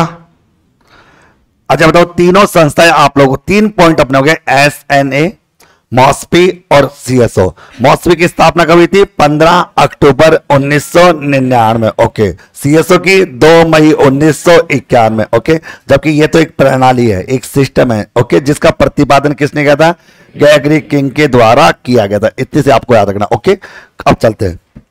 अगला पॉइंट आता आपका एनएसएसओ। अब सुनिए, एनएसएसओ की बात करते हैं, इसके बारे में अपन बात करते हैं। देखो नेशनल सैंपलिंग सर्वे ऑर्गेनाइजेशन इसको अपन एनएसएसओ। एनएसएसओ 1950 में बना था और वित्त मंत्रालय के अधीन राष्ट्रीय प्रतिशत सर्वेक्षण निदेशालय की स्थापना हुई थी 1950 में, जिसका मुख्यालय कहाँ पर है? न्यू दिल्ली में। इसका काम ही क्या है? डेटा कलेक्ट करना। तो एनएसएसओ भारतीय सांख्यिकी संस्थान कोलकाता के सहयोग से देव प्रति चयन, देवता रैंडमली रैंडमली आधार पर देश की विभिन्न आर्थिक, सामाजिक और जनसांख्यिकीय समस्याओं से संबंधित डेटा इकट्ठे करता है। भाई डेटा कलेक्ट करने का डेटाओं का संकलन करने का काम डेटाओं को इकट्ठा करने का काम किसका है? एनएसएस का और ये रैंडमली डेटा कलेक्ट करता है। सारे डेटा कलेक्ट करने की इसकी हिम्मत नहीं है। और सारे डेटा कलेक्ट कर भी नहीं सकता। बहुत सारे डेटा हर प्रकार के डेटा कलेक्ट करने की हिम्मत इसकी नहीं है। ये केवल रैंडमली आधार पर डेटा कलेक्ट करने का कार्य करता है। बात समझ आ रही है? ओके? तो अपन कह सकते हैं कि 1950 में ये संस्था बनी थी, ओके? और इसका मुख्यालय कहाँ पर है? न्यू दिल्ली के अंतर्गत है, जो अपन भारतीय सांख्यिक संस्थान, जो कोल अच्छा भारतीय सांख्यिक संस्थान कहाँ पर है? कोलकाता में। कोलकाता इसके सहयोग से रैंडमली आधार पर देश में चाहे वो इकोनॉमिक डेटा हो, चाहे वो सोशल डेटा हो, चाहे वो आपका जननांकीय समस्या हो, इन सभी प्रकार के डेटाओं को कलेक्ट करने का कार्य इस एनएस होगा नाइनटीन में ये निदेशालय मंत्रिमंडल सचिवालय में स्थानांतरित कर दिया जाता है। ओके, आगे, उसके बाद आता है इकहत्तर में केंद्रीय सरकार ने सांख्यिकी विभाग के अधीन एनएसएस के विभिन्न सामाजिक, आर्थिक विषयों पर राष्ट्रव्यापी स्तर पर घरों का सर्वेक्षण, वार्षिक औद्योगिक सर्वेक्षण तो जहाँ जहाँ सर्वेक्षण सर्वेक्षण की बात आ जाती है, उनका संकलन करने की ज़िम्मेदारी किसको दे दी गई? एनएसएसओ को दे दिया गया। एनएसएसओ के कितने डिपार्टमेंट है? चार, ओके। इसका अध्यक्ष गैर सरकारी होता है, इसका वर्तमान महानिदेशक श्रीमती संध्या कृष्णा मूर्ति है, ये भी आपको थोड़ा याद रखना। देखो एनएसएसओ के टोटल एनएसएसओ अपने आप में एक संस्था है, जिसके टोटल कितने विभाग है? चार, जो अपना अपना कार्य करते हैं। एक है सर्वेक्षण की ड्राफ्टिंग है। एक सर्वेक्षण ड्राफ्टिंग से संबंधित विभाग है, जो सर्वेक्षण की ड्राफ्टिंग करता है और उसकी रिसर्च करता है। वो ये बताता है कि सर्वे करते समय किन किन डेटाओं को कलेक्ट करना है। उनकी एक ड्राफ्ट तैयार करता है कि भाई, आप लोग जनसंख्या से संबंधित डेटा कलेक्ट करने जा रहे हो, या आप जीडीपी से संबंधित डेटा कलेक्ट करने जा रहे हो या निर्धनता या बेरोजगारी से संबंधित डेटा अगर आप कलेक्ट करने जा रहे हो तो आपको किन किन बातों को ध्यान में रखना है? यूआरपी विधि में क्या करना है? एमआरपी विधि में क्या करना है? वो सब बातें यही करता है, ये विभाग का, इस विभाग का काम है ड्राफ्ट करना। भाई, सीधी बात है, अगर आप युद्ध लड़ने जा रहे हो, आप डेटा कलेक्ट करने जा रहे हो तो डेटा कलेक्ट करते समय उसकी एक रणनीति बनती है, उसका एक ड्राफ्ट बनता है, एक कच्चा चिट्टा बनता है। तो उस कच्चे चिट्टे को बनाने का काम इस विभाग का है। सीएसओ असर एनएसओ कितने विभाग हुए? चार। चार में से एक विभाग का काम है ड्राफ्ट तैयार करना और रिसर्च करना डेट्स दूसरा होता है फ़ील्ड कार्य ये फिर फ़ील्ड में ये ये फ़ील्ड के लोग होते हैं जो फ़ील्ड में जाकर वहाँ पर डेटा इकट्ठा करते हैं और उनके आधार पर अपने अपने, अपनी टीमें तैयार करते हैं और सबको अपनी जगह भेजे तू इधर जा, तू इधर जा, शाम को वापस आना। सब लोग एक साथ बैठना और जितने भी डेटा हो गए उनके बारे में रिपोर्ट तैयार करते हैं। ये फ़ील्ड कार्य विभाग होता है, जो फ़ील्ड से संबंधित होता है। एक होता है डेटा संसाधन विभाग। जो फ़ील्ड कार्य विभाग है, वो काम करता है, फ़ील्ड में जाकर डेटा लाता है। फिर डेटाओं को लाकर किसको दे देता है? इस डेटा संसाधन विभाग को दे दिया जाता है। ये क्या करता है? डेटाओं को वो करता वो करता है। अलग अलग कर देते हैं किसी को अलग मतलब जन, जन निर्धनता के अलग हो गए बेरोजगारी के अलग हो गए सब प्रकार के डेटा को अलग करने का काम करता है। और एक होता है समन्वय और प्रकाशन। ये होता है प्रकाशन करने का काम। क्योंकि भाई सीधी बात है एनएसएसओ भी तो रिपोर्ट जारी करता है। तो उनमें कोऑर्डिनेट करना और उनको पब्लिश करने का काम इसका होता है। तो एनएसएसओ की स्थापना कभी 1950 में। मुख्यालय कहाँ पर है? नई दिल्ली में। वर्तमान में ये मॉस्पी की एक नोडल एजेंसी के तौर पर कार्य कर रही है और भारतीय सांख्यिक संस्थान जो कोलकाता में, उसके अधीन रहते हुए ये रेंडमली आधार पर सामाजिक, आर्थिक, राजनीतिक जनसंख्या हर प्रकार के डेटाओं को इकट्ठा करना और उनके संबंध में रिपोर्ट जारी करना इसी का काम है। किसका? एनएसओ और एनएसओ के टोटल कितने विभाग है? चार, जिसमें एक ड्राफ्ट ड्राफ्टिंग बनाने वाला, एक फ़ील्ड का, एक संसाधन का और एक आपका जाएगा प्रकाशन का। इस प्रकार से चार विभाग है। चार विभाग मिलकर एनएसएसओ के अंदर कार्य करते हैं। एक डेटा ड्राफ्ट करता है एक फ़ील्ड में जाके कार्य करता है, फिर उसके बाद डेटाओं का संसाधन होता है और उसके बाद उनका प्रकाशन होता है। इस प्रकार से चार विभागों के द्वारा ये अपना कार्य करता है। कौन करता है? एनएसओ। एनएसएसओ को वर्तमान में राष्ट्रीय प्रतिनिधि इसको क्या बोला जाता है? कार्यालय। मतलब संगठन से क्या बन गया? कार्यालय। नाम वही है नेशनल सैंपलिंग सर्वे ऑफ़िस ये एक निरंतर चलने वाला बहुउद्देशीय सर्वेक्षण है। भाई, इसका काम सर्वे करना है। ये केवल फ़ील्ड संबंधित कार्य करता है, जो आपका सैंपलिंग के आधार पर प्रति सैंपलिंग के आधार पर चक्रों के रूप में चल रहा है, ये आपको ध्यान एनएसएसओ के कार्य। अब देखो एनएसएस अच्छा सुनो एनएसएसओ का परिचय समझ आ गया सबको? अब मैं समझ आ गया? स्थापना 1950 में, मुख्यालय नई दिल्ली में। भारतीय सांख्यिक संस्थान कोलकाता के अधीन रहते हुए रैंडमली आधार पर सभी प्रकार के डेटा कलेक्ट करता है। सभी प्रकार के डेटाओं का सर्वेक्षण करता है, चाहे वो सामाजिक हो, चाहे वो आर्थिक हो, चाहे वो राजनीतिक हो, चाहे वो जनसांख्यिकी हो। सभी प्रकार के समंककों का सर्वेक्षण करना इसी का काम है। और कितने विभाग है? चार। एक हो जाएगा इसका ड्राफ्टिंग का, एक फ़ील्ड का, एक संसाधन का और एक प्रकाशन का। ये इसके चार विभाग है, चार। वर्तमान में ये संगठन से क्या बन गया? ऑफ़िस बन चुका बात क्लियर आगे, अब चलते इसके कार्य। बेसिकली बता दूँ, मैं इसके काम, ये तो अपन देख लेंगे। इसके कामों में तीन बातें ध्यान। एक तो राष्ट्रीय आय से संबंधित या देश की इकोनॉमिक से संबंधित सभी प्रकार के डेटाओं का सर्वेक्षण करने का काम इसी का। हर पाँच साल में निर्धनता, बेरोजगारी, निर्धनता की रिपोर्ट जारी करता है और हर पाँच साल में बेरोजगारी की रिपोर्ट जारी करने का काम भी इसी का है। बाकी आलतू पालतू देख लो, ये मंत्रालय और अन्य संस्थाओं के लिए आवश्यक समंकों को इकट्ठा करता है। समंककों को इकट्ठा करना मतलब हर प्रकार के डेटा इकट्ठा करने का काम इसी का है। डेटा कोई भी हो, चाहे वो सामाजिक डेटा हो चाहे वो आपका आर्थिक डेटा हो, चाहे राजनीतिक हो, चाहे जनसांख्यिक हो, हर प्रकार के डेटाओं को इकट्ठा करना, संकलित करने का काम इसी का होता है। ध्यान रखना आगे। बहु उद्देश्य सामाजिक आर्थिक सर्वेक्षण करने का काम होता है। औद्योगिक समंककों का संग्रहण करना। समंककों की बात आती आप कर लेना हमसे फ़सल पूर्वानुमान में सर्वेक्षण में राज्य एग्ज़ाम में आया था। फ़सल फ़सल पूर्वानुमान सर्वेक्षण में राज्य सरकारों का तकनीकी मार्गदर्शन का निरीक्षण करना यह होता है। ये इसी का काम होता है। मतलब कहने का मतलब डेटाओं को इकट्ठा करना और डेटाओं का सर्वेक्षण करना, ये सारा काम किसका है? एनएसएसओ का है। आ रही बात समझ आता है? अरे क्लियर सभी को?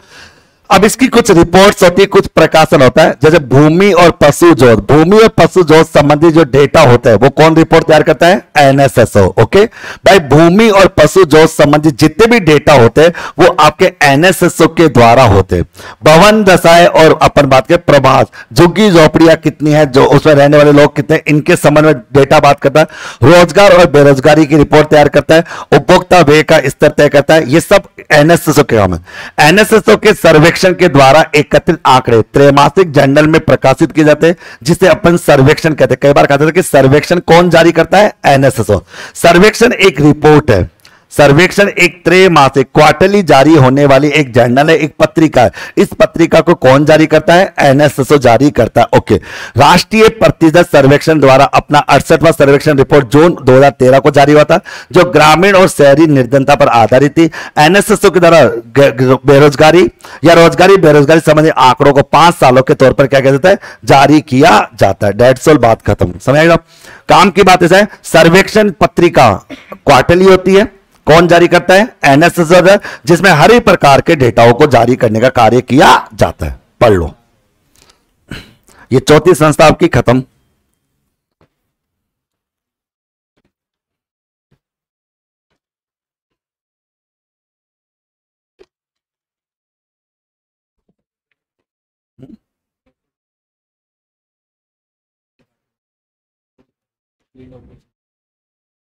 अच्छा। अच्छा कोई नहीं अभी पेपर हम अभी पेपर के सारे क्वेश्चन कर लेंगे टेंशन बोलो।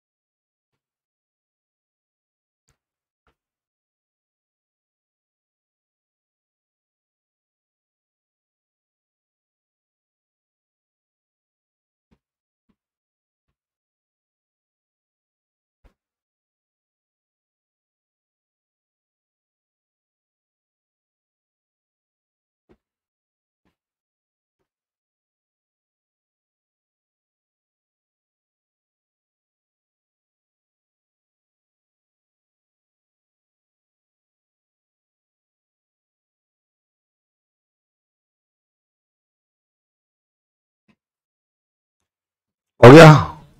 हाँ बताओ। देव पर randomly random sampling random sampling होती ना? देखो, अभी तक अपन ने यूनिट नंबर नौ के तीन चार टॉपिक्स पर बात की। सिस्टम ऑफ़ नेशनल अकाउंटिंग के बारे में अपन पूरा पढ़ चुके। उसके बाद आपको ministry of statical and programme implication के बारे में पूरा पढ़ चुके। उसके बाद आपका सीएसओ के बारे में पूरा पढ़ चुके और उसके बाद आपका एनएसएसओ के बारे में अपन पूरा पढ़ चुके। कोई डाउट किसी के मन में? अरे डाउट है क्या किसी के मन में? आप जानो एनएस ये आप जानते इसका प्रतिपादन करने वाला व्यक्ति कौन है? गैगरी किंग है। आपको याद रखना। ओके इसकी स्थापना आपके 15 अक्टूबर 1999 में हुई थी। इसकी स्थापना 2 मई उन्नीस सौ इक्यावन में हुई थी और इसकी स्थापना 1950 में हुई थी। ये सब बातें आपको मैं बता चुका, सारी बातें आप लोगों को अच्छे से कवर कर चुका। एक एक बिंदु बता चुके। ओके अब अपन आरजीआई को थोड़ा स्किप करते हैं। पहले अपन नीति आयोग पर चलते हैं। अपन नीति आयोग के बारे में पढ़ते हैं। ओके सुनिए। पहले तीन बार पढ़ेंगे, नीति आयोग को लेकर ढंग से सुनना नीति आयोग के बारे में आपको मैं कुछ बातें बता देता हूँ। सबसे पहले तो नीति आयोग का जो पहले नाम था, उसका पहले नाम था योजना आयोग। कौन सा नाम था? योजना।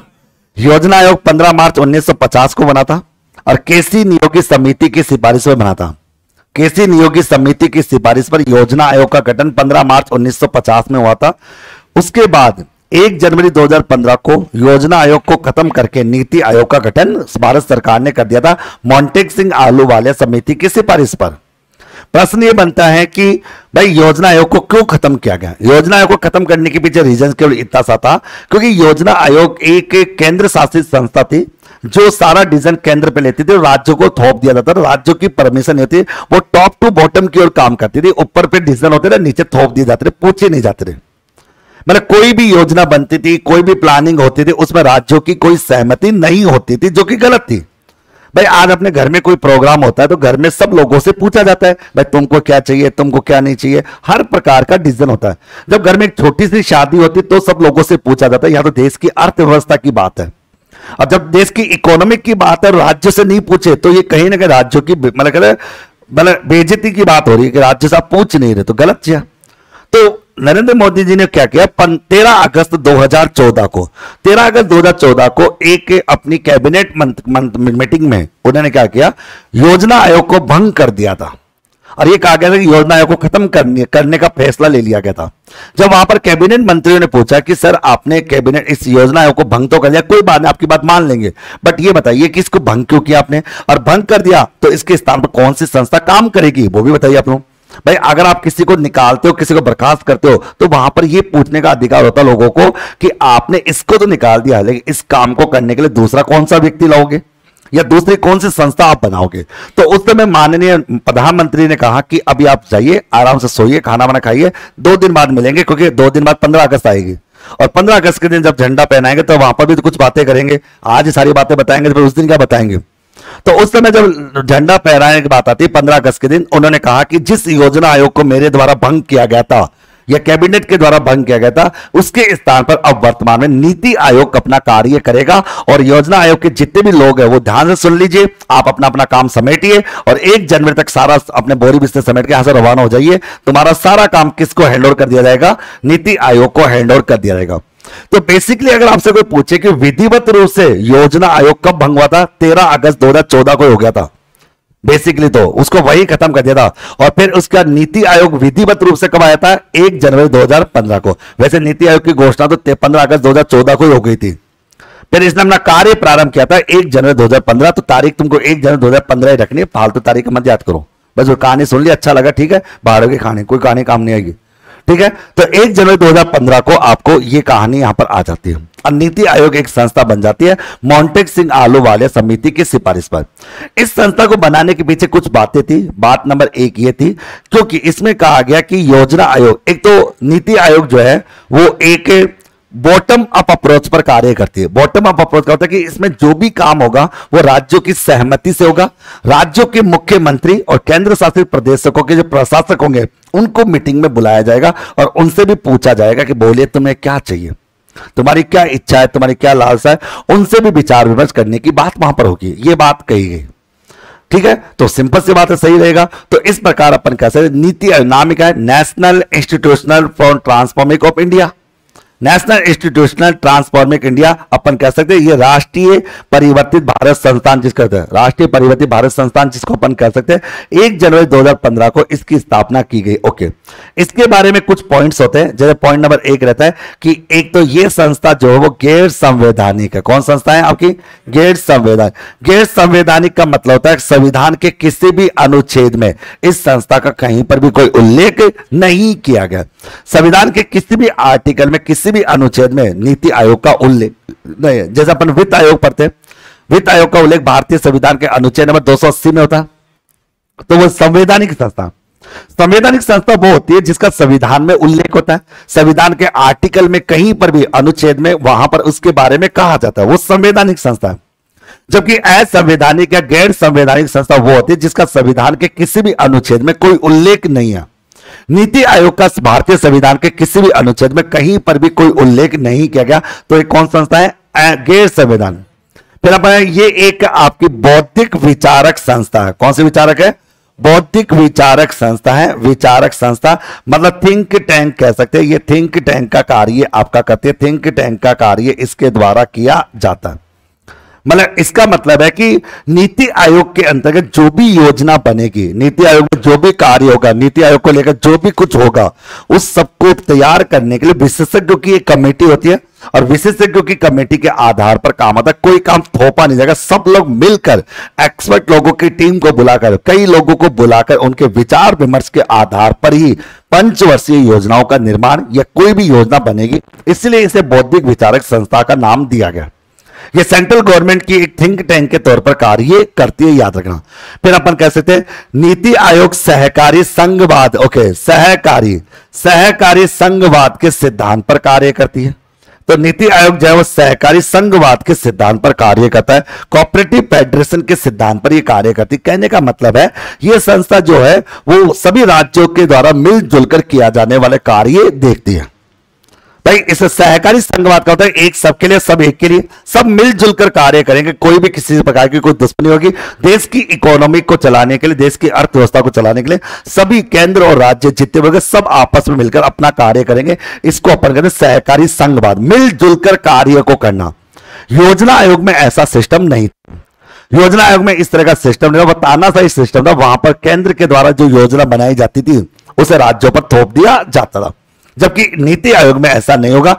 नीति आयोग में जो भी योजना बनेगी, जो भी प्लानिंग होगी, जो भी कुछ होगा, वो सभी राज्यों की सहमति, राज्यों की मंत्रियों की सहमति और केंद्र शासित प्रदेशों के प्रशासकों की सहमति के आधार पर ही होगा। ये इसमें ये बात कही है। तो ये सहकारी संघवाद के सिद्धांत पर कार्य करती है। फिर अपन कह सकते हैं, ये जो संस्था है, वो आपकी बॉटम अप अप्रोच है। कौन सी अप्रोच है? बॉटम अप मतलब इसमें योजनाओं के बारे में फैसले कहा होते हैं? नीचे। नीचे विचार विमर्श होता है। नीचे से ऊपर जाता है, फिर ऊपर जाकर उनको थोपा जाता है। मतलब सबकी सलाह होती है। नीचे से सलाह होती है, इकट्ठी होकर ऊपर जाती है, फिर ऊपर योजना बनकर सबके ऊपर लागू कर दी जाती है। तो बॉटम अप अप्रोच पर कार्य करती है, जिससे कोई राज्य ये ना कहे कि हमारी बात आपने नहीं सुनी। सब राज्यों की बात सुनी जाएगी। सब राज्यों की बात को फैसला लिया जाएगा। ये इसके अंतर्गत आता है। आरी बात समझ आता है। फिर अपन ये कह सकते हैं कि ये जो है, ये कार्यकारी संस्था है। कौन संस्था है? कार्यकारी। एग्जीक्यूटिव बॉडी है। क्यों? क्योंकि ये संस्था अपना कार्य सभी को अपने हिसाब से डिस्ट्रीब्यूट कर देती है, खुद अपना कार्य नहीं करती। इसके अंदर कई प्रकार के लोग हैं, कई प्रकार की परिषद है, जिस हर परिषद को अपना अपना कार्य इसमें दिया गया। जैसे कि नीति आयोग में तीन परिषद है एक शासकीय परिषद, एक क्षेत्रीय परिषद और एक संगठनात्मक परिषद। तीन तरह की परिषद इसमें।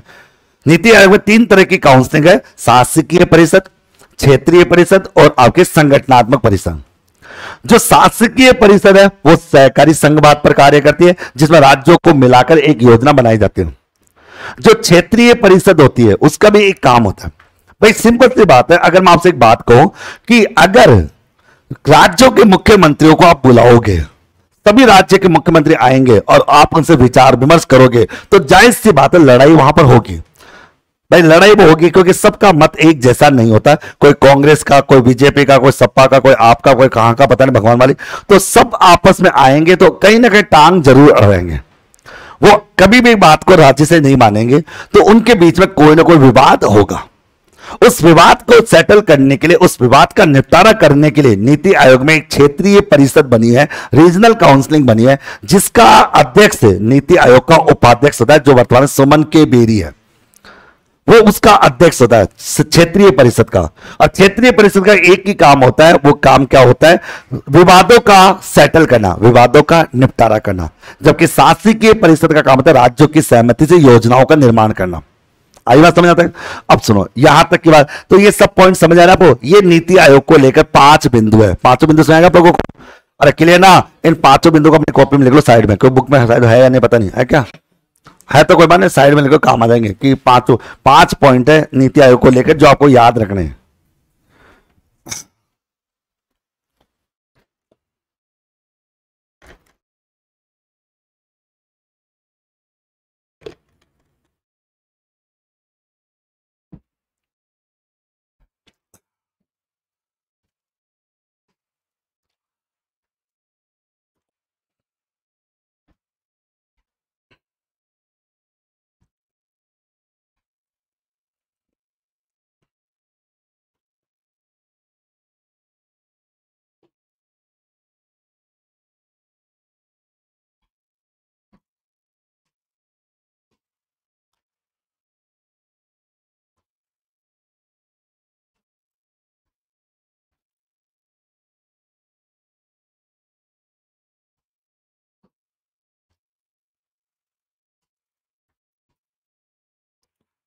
बॉटम अप अप्रोच का होता है, नीचे से ऊपर की ओर कार्य होता है। इसमें जो योजनाएँ बनती है, वो नीचे बनती है और सभी राज्यों की सहमति से बनती है और उन योजनाओं को ऊपर लागू कर दिया जाता है, ऊपर से लागू हो जाती है। इसको बोलते हैं बॉटम अप अप्रोच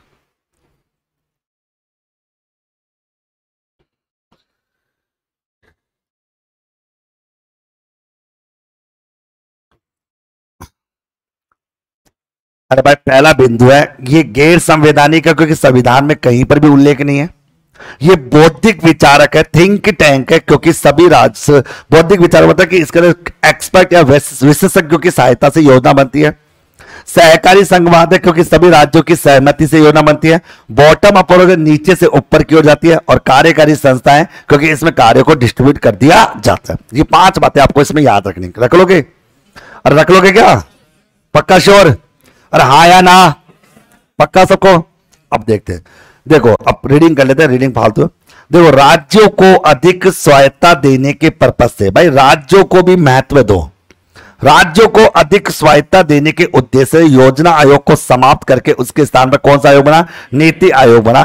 तो अगर आपसे कोई पूछे कि नीति आयोग का गठन किया गया? राज्यों को महत्व देने के लिए। योजना आयोग में राज्यों को महत्व नहीं दिया जाता था। योजना आयोग एक केंद्र शासित संस्था थी, जिसके अंतर्गत जो भी डिसीज़न होता था वो राज्यों के ऊपर थोप दिया जाता था। वहाँ पर कोई भी डिसीज़न वगैरह था, वो राज्यों के ऊपर थोप दिया जाता था। वो एक केंद्र शासित संस्था के तौर पर कार्य करता था योजना आयोग। लेकिन जब देखा कि यार गलत बात है जब अपन देख देने के बाद और बात सही भी है उसमें। तो अगर बात करें यहाँ पर जैसे कि घर में आज शादी होती है तो घर में यार एक छोटी सी शादी होती है तो अपन सारा सारे खानदानों को पूछते हैं भाई लड़का कैसा है लड़की कैसी है पता पता जबकि वहाँ पर दो लोगों को मिलना केवल यहाँ तो पूरी अर्थव्यवस्था का सवाल है पूरे देश का सवाल है और फिर किसी से पूछा नहीं जाए तो, तो गलत बात है। अरे दो लोग बर्बाद है कोई दिक्कत नहीं देश बर्बाद है तो दिक्कत जाए आगे। तो सिंपल सी बात है इकोनॉमिक को डेवलप करने के लिए इकोनॉमिक को चलाने के लिए उनका डिसीज़न सही था। उनका यह मानना था कि राज्यों को भी शामिल करो। भाई, किसकी तकलीफ़ क्या है? वो तो वही जानेगा।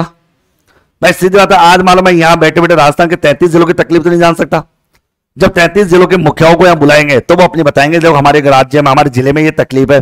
फिर उसकी तकलीफ़ को सुनेंगे, फिर उसमें कितनी सच्चाई है उसको जानेंगे, फिर उसका समाधान करेंगे। घर बैठे तो कोई काम हो नहीं सकता। तो यही काम था कि भाई, आप बैठे बैठे ऑफ़िस में योजना बना दे तो किस राज्य को क्या तकलीफ़ हो वो तो आपको दिखती ही नहीं है।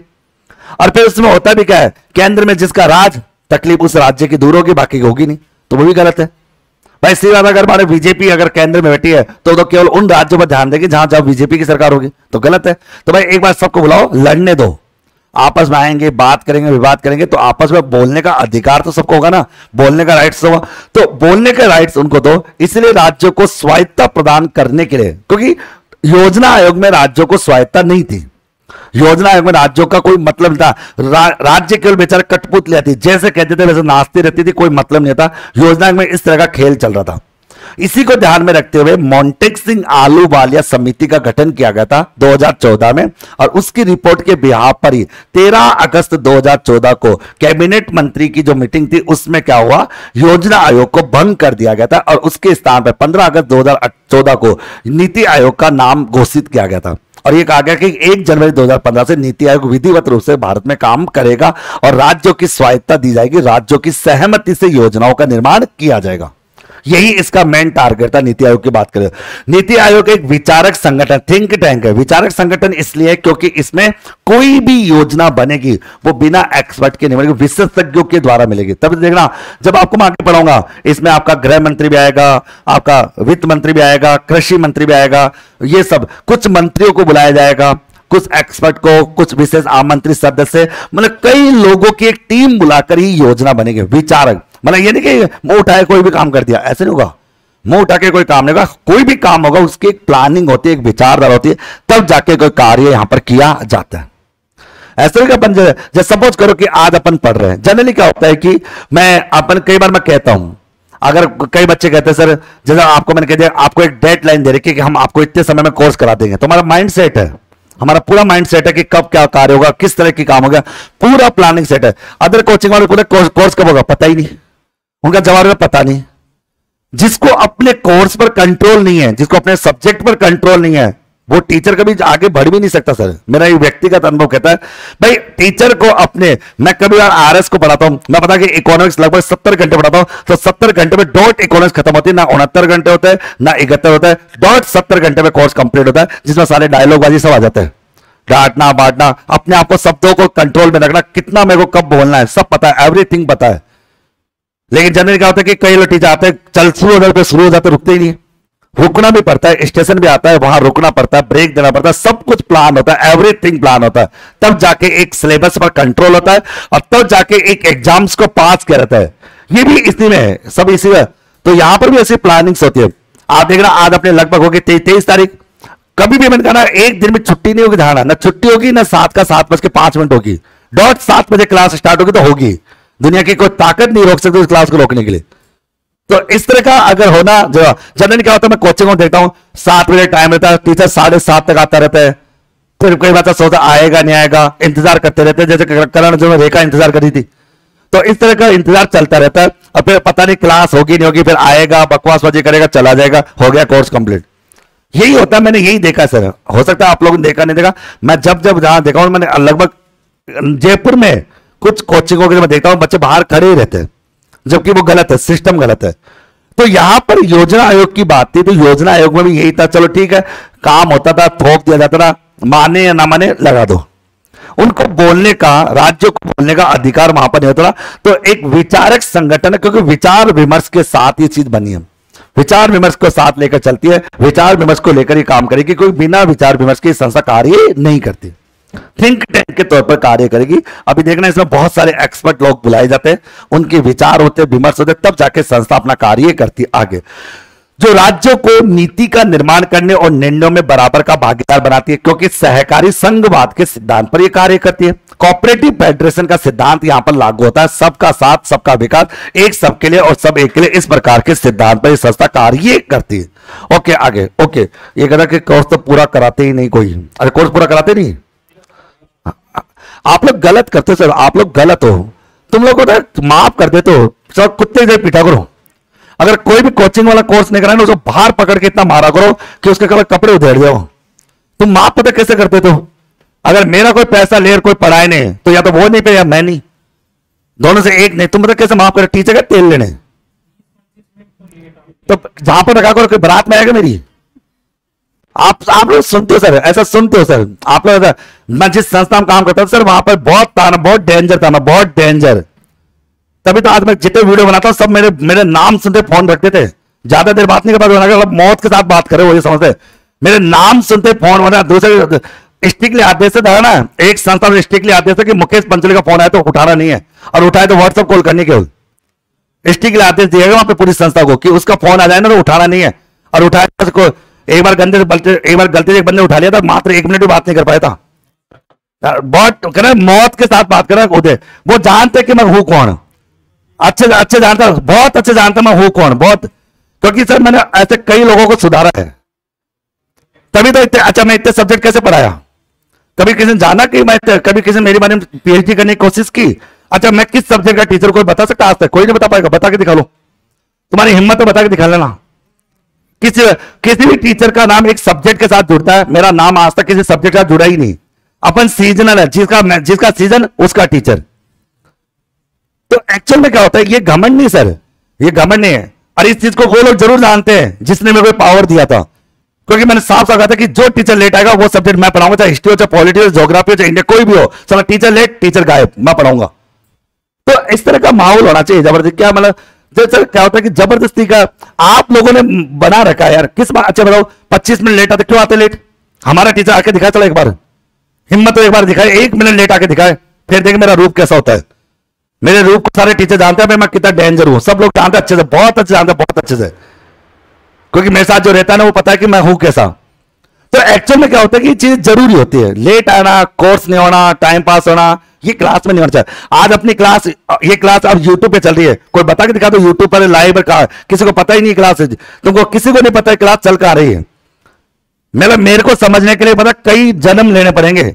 और मैं कहना कि हज़ार रुपए में पढ़ा कर मैं तुमको हज़ार रुपए पढ़ा रहा हूँ ना, हज़ार नहीं, पाँच सौ रुपए में पढ़।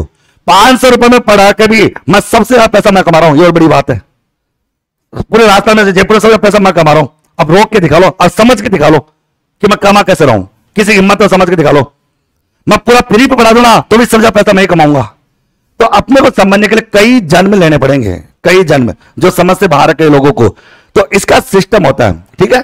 अब सुनो, यहाँ पर मैंने लिखा कि नीति आयोग की बात आती है, नीति आयोग विचारक संस्था के तौर पर काम करती है, और राज्यों को नीति का निर्माण करने और डिसीज़न में बराबर का भागीदार मतलब कहते हैं कि आप आइए, बराबर का भागीदार बराबर का भागीदार बनने का कार्य यहाँ पर करते थे, ओके?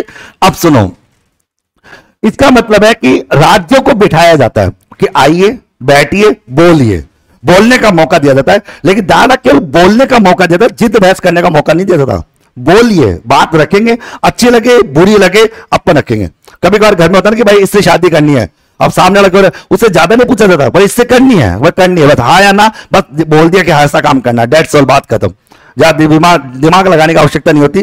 तो नीति आयोग केंद्र और राज्य सरकार के नीतियों के कारकों के संबंध में प्रासंगिक एक तकनीकी, अगर बात एक तकनीकी अगर बात करें पर, अगर बात करें यहाँ पर एक तकनीकी परामर्श उपलब्ध कराती है ये धारणा। और नीति आयोग में आर्थिक मोर्चे पर राष्ट्रीय और अंतर्राष्ट्रीय आयोग देश भीतर अन्य देशों को बेहतरीन पद्धतियों का प्रसार और नीतिगत विचारों का समावेश और विशिष्ट विशेषत्व पर आधारित समर्थन से संबंधित मामलों पर मामलों पर शामिल होंगे ये धारणा।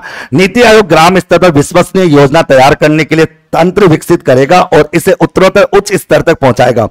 आयोग, नीति आयोग, राष्ट्रीय और अंतर्राष्ट्रीय विशेषज्ञों, प्रैक्टिशनरों और अन्य हितधारकों के सहयोगात्मक समुदायों के ज़रिए ज्ञान, नवाचार, उद्यमशीलता सहायक प्रणाली यहाँ पर बनाएगा, ये आपको ध्यान रखना, ओके? तो बेसिकली ये नीति आयोग की कुछ बातें जो तो कोई मतलब की नहीं है। इसमें मेन बातें थी, पाँच बातें। गैर संवैधानिक है भौतिक विचारक संस्था है, सहकारी संघवाद के सिद्धांत पर कार्य करती है बॉटम अप्रोच बॉटम अप्रोच पर काम करती है, और कार्यकारी संस्था ये पाँच बातें ध्यान रखनी। जिनमें राज्यों की सहभागिता को लेते हुए योजनाओं का निर्माण करता है। राज्यों को यहाँ पर सहभागी बनाया जाता है। ठीक है? आगे, ठीक है? तो यहाँ तक के लिए सबको? अब इसका कुछ ढांचा है कि नीति आयोग के अंदर जगह ढांचे की बात करें, जैसे मान लो मैं आपको बात हूँ देखो यहाँ पर। नीति आयोग का जो ढांचा होता है, उसमें ऊपर ऊपर कौन होता है? अध्यक्ष होता है। कौन होता है आपका? अध्यक्ष। नीति आयोग का जो अध्यक्ष होता है, वो पदेन व्यक्ति होता है। मतलब कि पदेन मतलब देश का प्रधानमंत्री होता है। जो देश का प्रधानमंत्री होगा, वो नीति आयोग का अध्यक्ष होगा। जो भी देश का प्रधानमंत्री होगा, नीति आयोग का क्या होगा, अध्यक्ष होगा मतलब उसको किसी भी प्रकार की नीति आयोग के अध्यक्ष की शपथ लेने की ज़रूरत नहीं होती।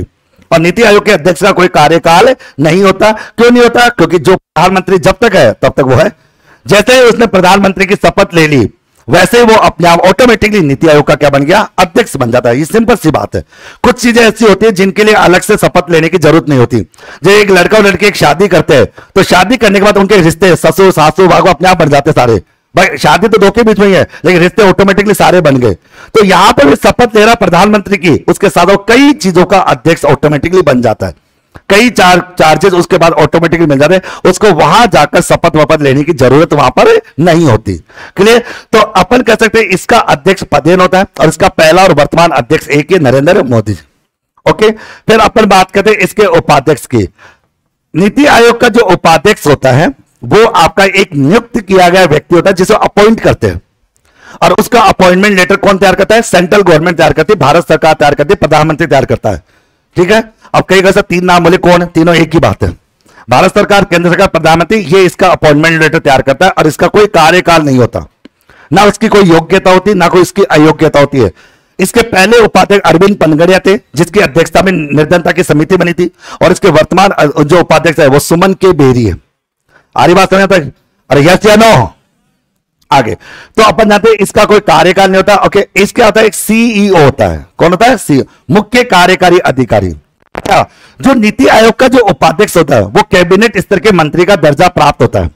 मंत्री नहीं होता, लेकिन कैबिनेट स्तर के मंत्री को जो फैसिलिटी वगैरह मिलती है, वो सारी फैसिलिटी इसको भी मिलती है। मतलब एज इट इज़ ऐसा लगता है कि वो कैबिनेट मंत्री हो। ऐसा फीलिंग बोल रहता है। इस तरह की फीलिंग उसको आती है, जैसे सुमन के बेरी को भी ऐसी फीलिंग आ रही है। ठीक है? तो अपन कह सकते हैं सीईओ, मुख्य कार्यकारी जो अधिकारी होता है, जिसकी नियुक्ति भारत सरकार करती है, इसकी भी योग्यता और अयोग्यता के बारे में कहीं कोई बात नहीं है।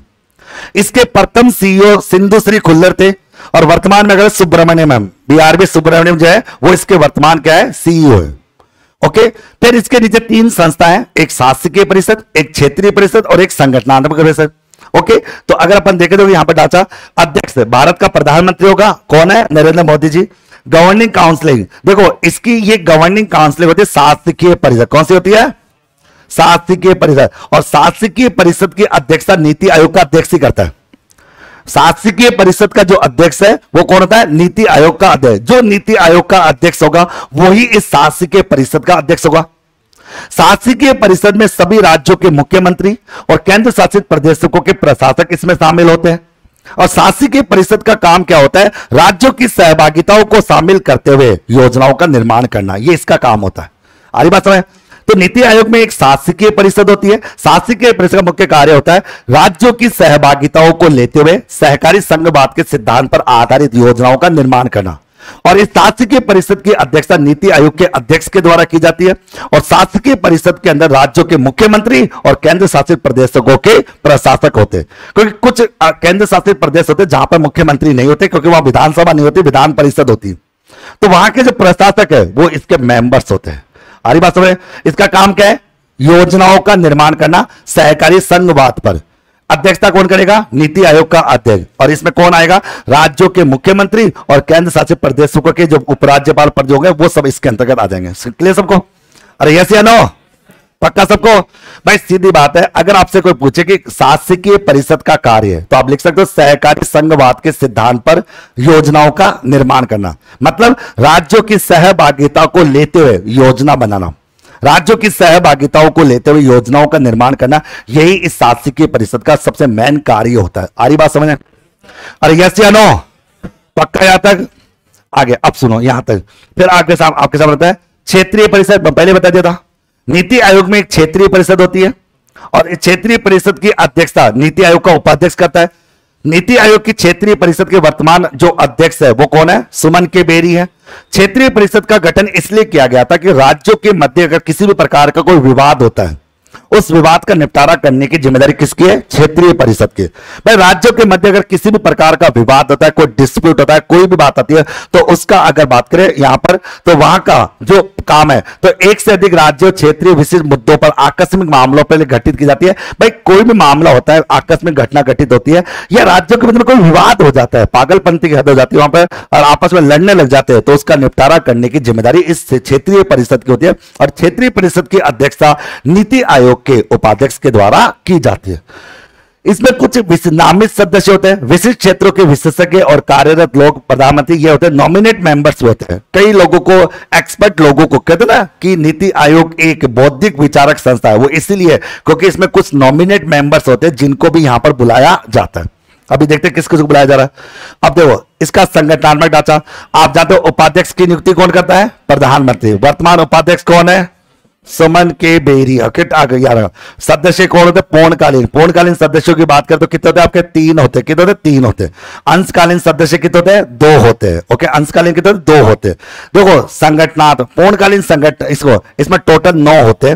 तीन तो होते पूर्णकालीन दो होते हैं अंशकालीन, और चार होते हैं पदेन। क्या होते आपके? पदेन। टोटल मिला के नौ लोगों की टीम होती है। संगठनात्मक परिषद की बात करूँ तो।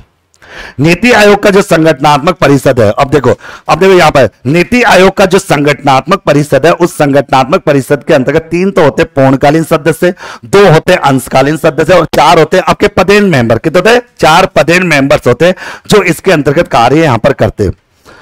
अगर मैं बात करूँ पदेन सदस्यों की, किसके बाद पदेन? केंद्रीय मंत्री परिषद से अधिकतम चार प्रधानमंत्री नॉमिनेट होते हैं। पदेन कितने होते हैं? चार मेंबर्स होते हैं। अच्छा नीति आयोग का मुख्य कार्यकारी अधिकारी जो होता है, वो भारत सरकार के सचिव के स्तर का दर्जा होते हैं।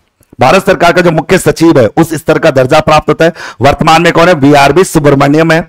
नीति आयोग का जो सीईओ होता है, उसकी नियुक्ति कौन करती है? भारत सरकार करती है, जिसकी योग्यता और अयोग्यता का कहीं कोई उल्लेख नहीं है।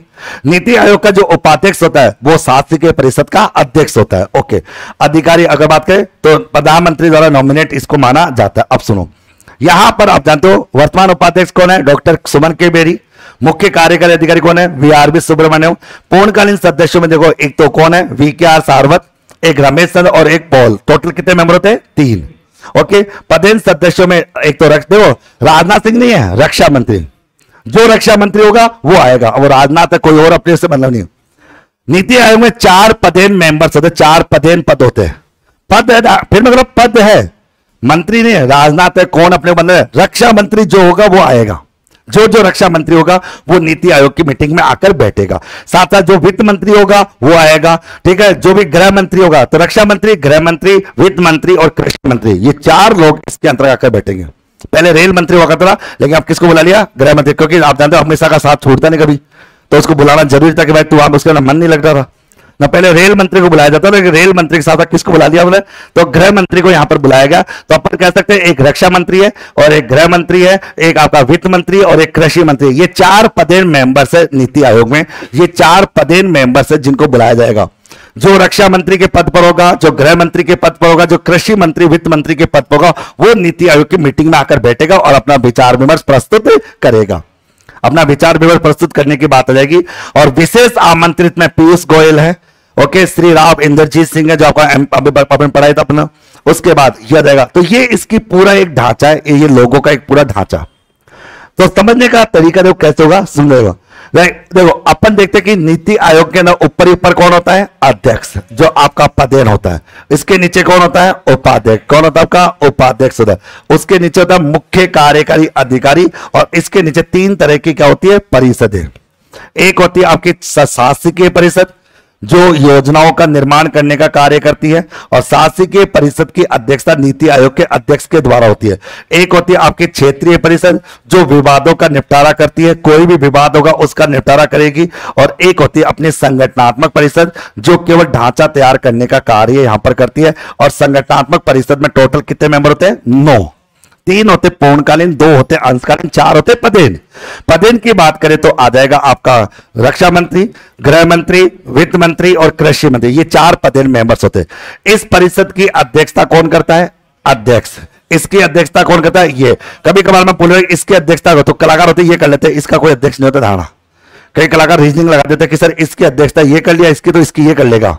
ऐसा नहीं था। संगठनात्मक परिषद का कोई अध्यक्ष है संगठनात्मक परिषद एक मेंबर्स की टीम है जिसे तीन तो है आपके अंश पूर्णकालीन दो अंशकालीन है, ओके चार होते पदेन आपसे पूछा जाता है कि नीति आयोग में पदेन पद कौन कौन से हैं? तो रक्षा मंत्री का, गृह मंत्री का, वित्त मंत्री का और कृषि मंत्री का। ये चार पदेन मेंबर्स इसके।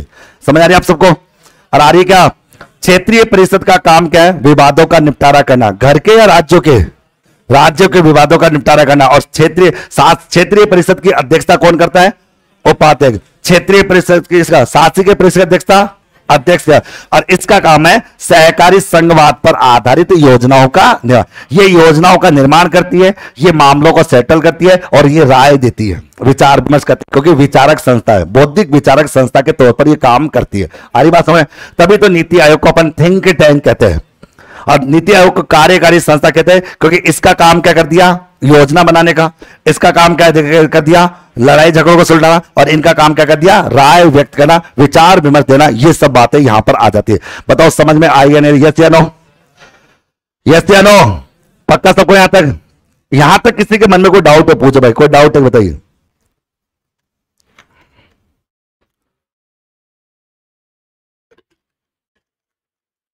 तो इसमें आप लिखना नीति आयोग में लिखना मोन्टेक सिंह आलू वालिया समिति की सिफारिश पर गठित ये लिख लेना, लिखा होने इसमें। भाई, नीति आयोग का गठन किस समिति की सिफारिश पर था? मोन्टेक सिंह मोन्टेक सिंह आलू समिति। मोन्टेक सिंह आहलो वालिया समिति। इस समिति की अध्यक्षता में ही इसका गठन किया गया था। मोन्टेक सिंह आलू वालिया समिति की सिफारिश पर इसका गठन किया गया था। सबको क्लियर तो फिर समझ आ रहा है आपको? पक्का? हम्म, बढ़िया बात है।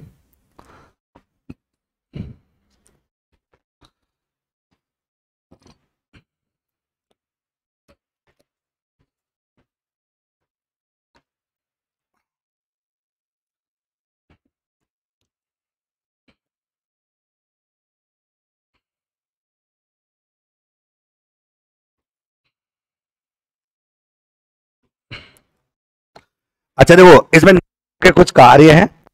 पर तो पढ़ लो। पढ़ लो तो पढ़ो पढ़ो। एक बार पीछे वापस। कार्य और ये उद्देश्य तुम पढ़ लो क्या कोई भाई नहीं है ऊपर सभी आंसर होते हैं इनका तो। इनको क्या, ये कोई क्वेश्चन होते ही नहीं।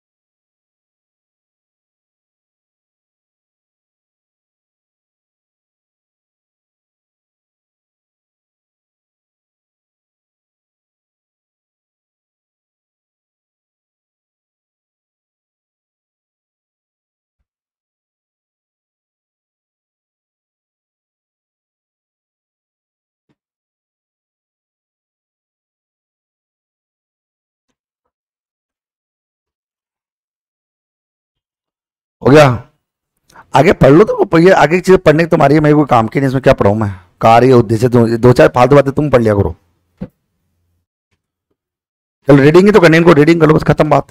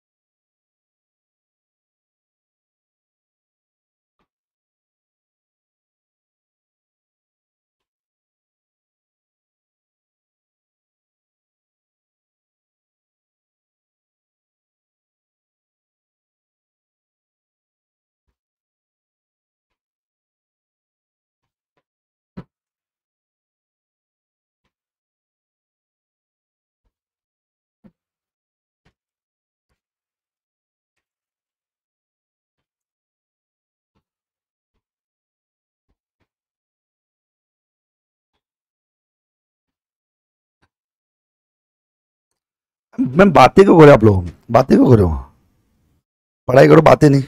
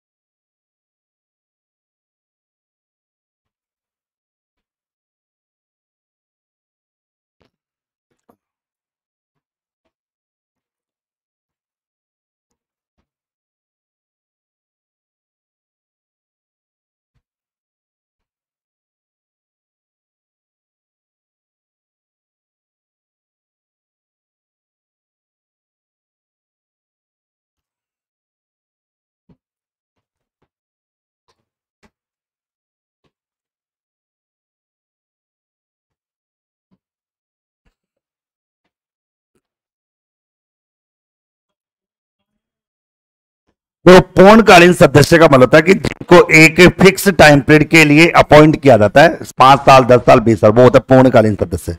अंशकालीन का मतलब था जिसका कोई एक समय नहीं होता। मतलब कोई फिक्स नहीं, ठीक जब तक पद है, तब तक है, नहीं तो भाई नहीं है।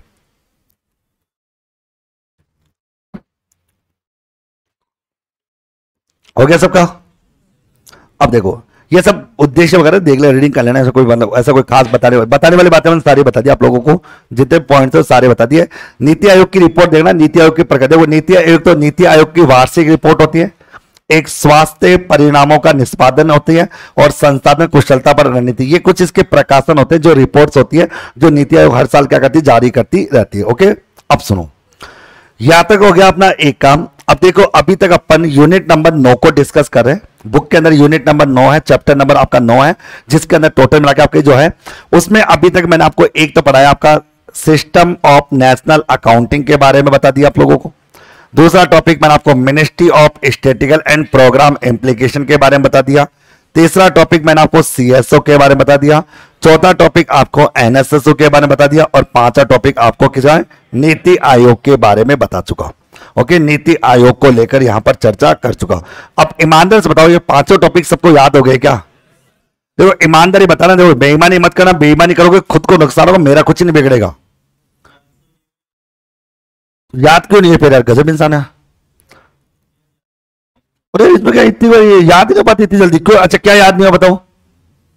इसमें क्या मतलब इसमें कौन सी चीज़ आपको याद ही नहीं हुई? भाई, एक बात हो, इसने कहा, ये कहता है कि जो जो सीएसओ होता है सीएसओ सीएसओ हर साल राष्ट्रीय की गणना करता है। राष्ट्रीय सांख्यिक प्रणाली क्या राष्ट्रीय सांख्यिक प्रणाली। ओके राष्ट्रीय सांख्यिक प्रणाली।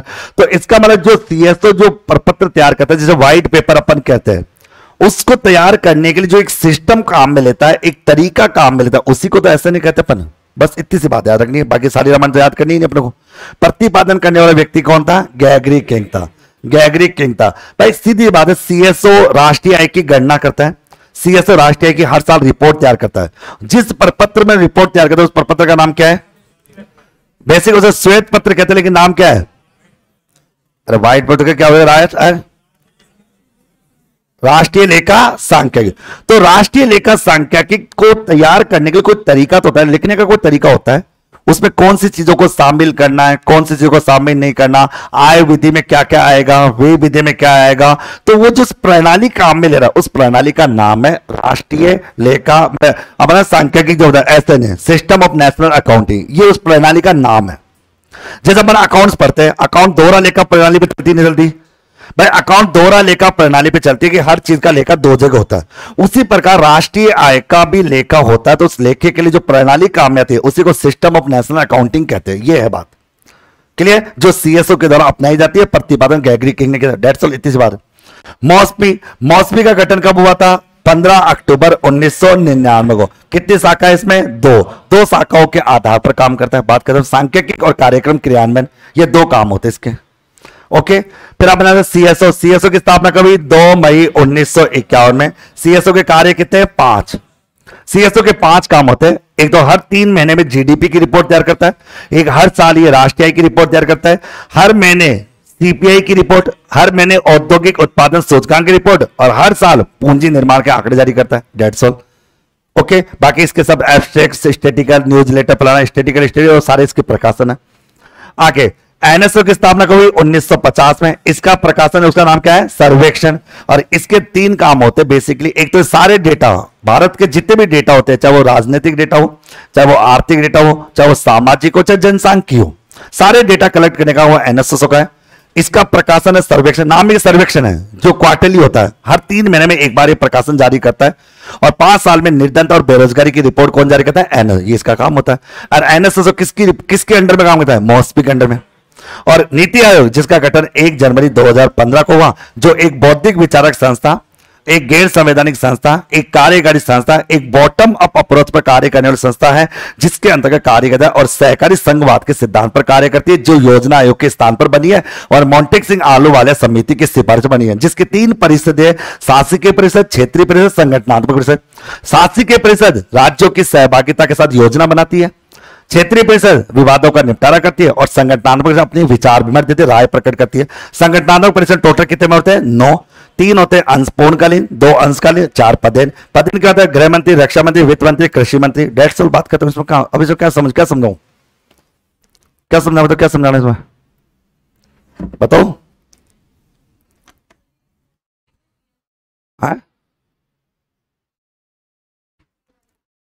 कौन रह गया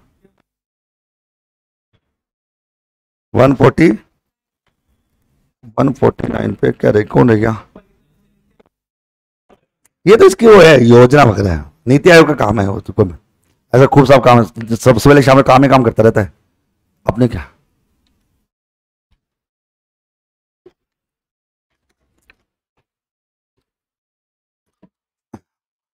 बताओ भाई समझ आ गया सबको? अरे समझ में आ गया सबको यस या नो अभी कोई डाउट है सर पक्का? गजब है। सबको क्लियर आ जाओ। अब चलते देश के कौन से बैंक की ओर? केंद्रीय बैंक आरबीआई की ओर। आरबीआई की कहानी अपन समझते हैं। वैसे आरबीआई की कहानी अपन और भी पढ़ेंगे, जब बैंकिंग पढ़ेंगे। ठीक है, दो बार पढ़ेंगे, लेकिन कोई बार पढ़ लो आराम से। आरबीआई के बारे में बात करते हैं। अब देखो अच्छा आरबीआई के बारे में कितने लोग जानते हैं? कि रिज़र्व बैंक ऑफ़ इंडिया के बारे में कितने लोगों को क्या पता? सब जानते हो? अच्छा और कितने, आप में से कोई जानते हैं क्या? आप जानते हो क्या जानते हो? ये बताओ। बत, हाँ कोई बात नहीं तो सीखो या फिर वैसे थोड़ा सीखा करो ठीक है? क्योंकि हाँ, अब देखो बताइए। हाँ मैडम बताओ आप बताओ। क्या जानते हो बताओ आरबीआई के बारे। में बोलो। हाँ बोलिए शर्मा करो बहुत बताओ डर क्यों रहा डरे ना भाई और इधर तो कौन कौन जानता है? आप जानते हो बताओ सर आप बताओ।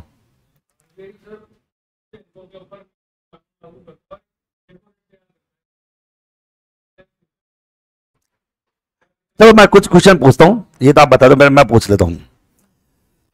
ये बताओ कि आरबीआई की स्थापना को सिंपल सिंपल प्रश्न पूछ लेते पहले। एक अप्रैल 1935 में। ओके। आरबीआई अपना वैधानिक संस्था है कि अवैधानिक है? वैधानिक है क्योंकि इसका अपना एक विधान है इसका अपना एक कानून है आरबीआई अधिनियम उन्नीस ठीक है? आरबीआई की स्थापना किस समिति की सिफारिश हुई थी? हिल्टन यंग आयोग समिति की सिफारिश हुई थी, जो आपका उन्नीस सौ छब्बीस, सत्ताईस में बना था। लेकिन अगर आपसे कोई एक बार प्रश्न पूछ ले बाई चांस अब एक बार प्रश्न पूछ रहा हूँ, सुनना, उसका जवाब बताना। भारत में पहली बार केंद्रीय बैंक की मांग किस आयोग ने की थी? यह प्रश्न आया। भारत में अगर केंद्रीय बैंक की जो मांग हुई थी, वो सबसे पहले किस आयोग के द्वारा की गई थी? इसका जवाब देना। तो सुनिए अच्छा बताओ बताओ कौन बता सकता? है? रॉयल कमीशन हिल्टन यंग को ही बोलते हैं। हिल्टन यंग आयोग को ही रॉयल कमीशन बोलते हैं। वो तो एक ही बात है, वो तो एक ही मैं अगर आपसे पूछा कि केंद्रीय बैंक की मांग सबसे पहले किसने की थी, ये है सबसे इंपॉर्टेंट बात। मैं उत्तर में बताता हूँ। केंद्रीय बैंक की मांग सबसे पहले 1914-15 में हुई थी, पता आपको? 1914-15 में एक आयोग बना था। उस आयोग का नाम था चैम्बरलिन आयोग। क्या नाम था उसका? चैम्बरलिन आयोग बना था। इसने कहा था कि देश के अंदर बैंकों पर कंट्रोल करने के लिए। सर, मत लिखो, अरे राजा। मत लिख। बैंकिंग पढ़ाएँगे बैंकिंग कहाँ पढ़ाई हुई बैंकिंग चैप्टर बाकी है ना? बस। है? बैंकिंग पढ़ाऊँगा ना पूरा इतिहास बताएँगे, अठारह सत्तर से लेकर पूरा बताएँगे आपको। अब तो यहाँ पर आता है चैम्बरलिन आयोग ने सबसे पहले मांग की थी, क्योंकि उस समय देश में बैंकों के हालात खराब थे, प्रथम विश्व युद्ध की वजह से।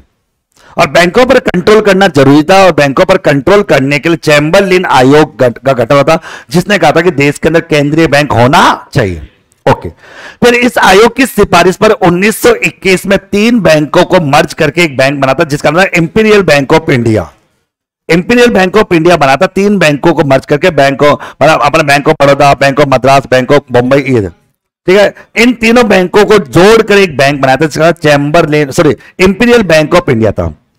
और उसको केंद्रीय बैंक के तौर पर काम दिया गया था। केंद्रीय बैंक नहीं बना था, केंद्रीय बैंक के तौर पर काम कर रहा था। बाद में लगा कि नहीं, कुछ अलग से बैंक होना चाहिए भारत में, कुछ स्पेशल बैंक होना चाहिए। तो स्पेशल बैंक होने के बाद उन्नीस सौ छब्बीस, सत्ताईस में एक आयोग बनता जिसका नाम है हिल्टन यंग आयोग जिसे रॉयल कमीशन अपन कहते हैं। और उस आयोग की सिफारिश में भारत में रिज़र्व बैंक ऑफ़ इंडिया की स्थापना। अच्छा कभी दिमाग में घंटी बजी इसका नाम रिज़र्व बैंक ऑफ़ इंडिया क्यों है? इसका नाम रिज़र्व बैंक ऑफ़ इंडिया क्यों है? कुछ नाम, इसका कुछ नाम और क्यों नहीं होना चाहिए था? मतलब इसका नाम रिज़र्व बैंक ऑफ़ इंडिया ही क्यों है? ये नाम आया कहाँ से? ये विचार आया कहाँ से? मतलब रॉयल कमीशन जो बना, उस, उन्हें इसका नाम रिज़र्व बैंक ऑफ़ इंडिया ही क्यों रखा? ये भी एक इंपॉर्टेंट बात है। हालाँकि इतनी इंपॉर्टेंट है कोई नहीं पूछा कि किसी बाप को नहीं पता होगी। जनरली ऐसा, ऐसे क्वेश्चन बनते नहीं, लेकिन फिर भी नॉलेज के लिए ज़रूरी है। बेसिकली अपना भारत में कोई भी काम हुआ ना, वो किसी देख कर टीपा टीपी करके हुआ है। तो अमेरिका में फेडरेशन बैंक ऑफ़ इंडिया मतलब फेडरेशन बैंक ऑफ़ अमेरिका है। उसी के तर्ज पर भारत में इसका नाम क्या दिया? Reserve Bank of India America के रिज़र्व बैंक अमेरिका का जो केंद्रीय बैंक है, उसी के नाम पर भारत का केंद्रीय बैंक है, जिसका नाम है Reserve Bank of India okay जब 1935 में 1 अप्रैल 1935 में इस बैंक की स्थापना होती है तो उस समय ये बैंक जो है, वो भारत के साथ साथ दो देशों का केंद्रीय बैंक और था म्यांमार और पाकिस्तान. म्यांमार और पाकिस्तान का केंद्रीय बैंक क्वेश्चन आया हो कई बार, कि आरबीआई कौन से अन्य दो देशों का केंद्रीय बैंक रह चुका है? तो म्यांमार और पाकिस्तान का भी केंद्रीय बैंक ही रहता भारत के साथ साथ म्यांमार और पाकिस्तान का भी केंद्रीय बैंक रहा हुआ धारणा। जब इसकी स्थापना 1 अप्रैल 1935 में होती है, इसका मुख्यालय कोलकाता में होता है। लेकिन उसके दो साल के बाद, उन्नीस सौ सैंतीस में इसके मुख्यालय को ट्रांसफ़र करके बॉम्बई लाया जाता है। ये बॉम्बई आ जाता है, इसका ट्रांसफ़र मुंबई कर दिया जाता है। ये एक वैधानिक संस्था है। वैधानिक संस्था इसका, क्योंकि विधान में इसका उल्लेख है और इसका आरबीआई अधिनियम उन्नीस है, जिसके आधार पर अपना काम खुद करता है। बेसिकली आरबीआई एक स्वायत्त शासित संस्था है। स्वायत्त शासित संस्था मतलब अपने रूल्स एंड रेगुलेशन खुद बना सकती है, सारे कानून बना सकती है, लेकिन फिर भी यह भारत सरकार की एक कठपुतली है। भारत सरकार की एक एजेंसी है। भारत सरकार इसके ऊपर अपने नियम लागू कर सकती है, इसके सारे अधिकारों को खत्म कर सकती है। इसके ऊपर अपना नियम थोप सकती है। तो भारत सरकार की एक एजेंसी के तौर पर काम करती है। आप देखना आरबीआई की बात करें अपन, देखो, फिर आरबीआई के बारे में है आरबीआई का जो मैनेजमेंट होता है ना, वो 21 लोगों की एक टीम करती है। 21 लोगों की एक टीम होती है, वो इसका मैनेजमेंट करती है। जिसमें एक तो होता है आरबीआई का गवर्नर चार आरबीआई के डिप्टी गवर्नर, चार आरबीआई के क्षेत्रीय कार्य, दिल्ली, मुंबई, चेन्नई, कोलकाता के डायरेक्टर होते, दो होते वित्त मंत्रालय के, और दस होते आपके अन्य टोटल होते इक्कीस। ये इक्कीस लोगों की एक टीम होती है बोर्ड ऑफ़ डायरेक्टर जिन्हें अपन कहते हैं, संचालक मंडल कहते हैं आरबीआई का। और इसकी अध्यक्षता आरबीआई के गवर्नर के द्वारा की जाती है, जो साल में चार मीटिंग्स करते रहते हैं और आपस में अपने फैसले लेते हैं। ये बोर्ड ऑफ़ डायरेक्टर्स की मीटिंग होती है, जिसके आधार पर आरबीआई अपना क्या लेती है डिसीज़न लेती है आरबीआई सारा काम करती है, ये सब कुछ देखती है।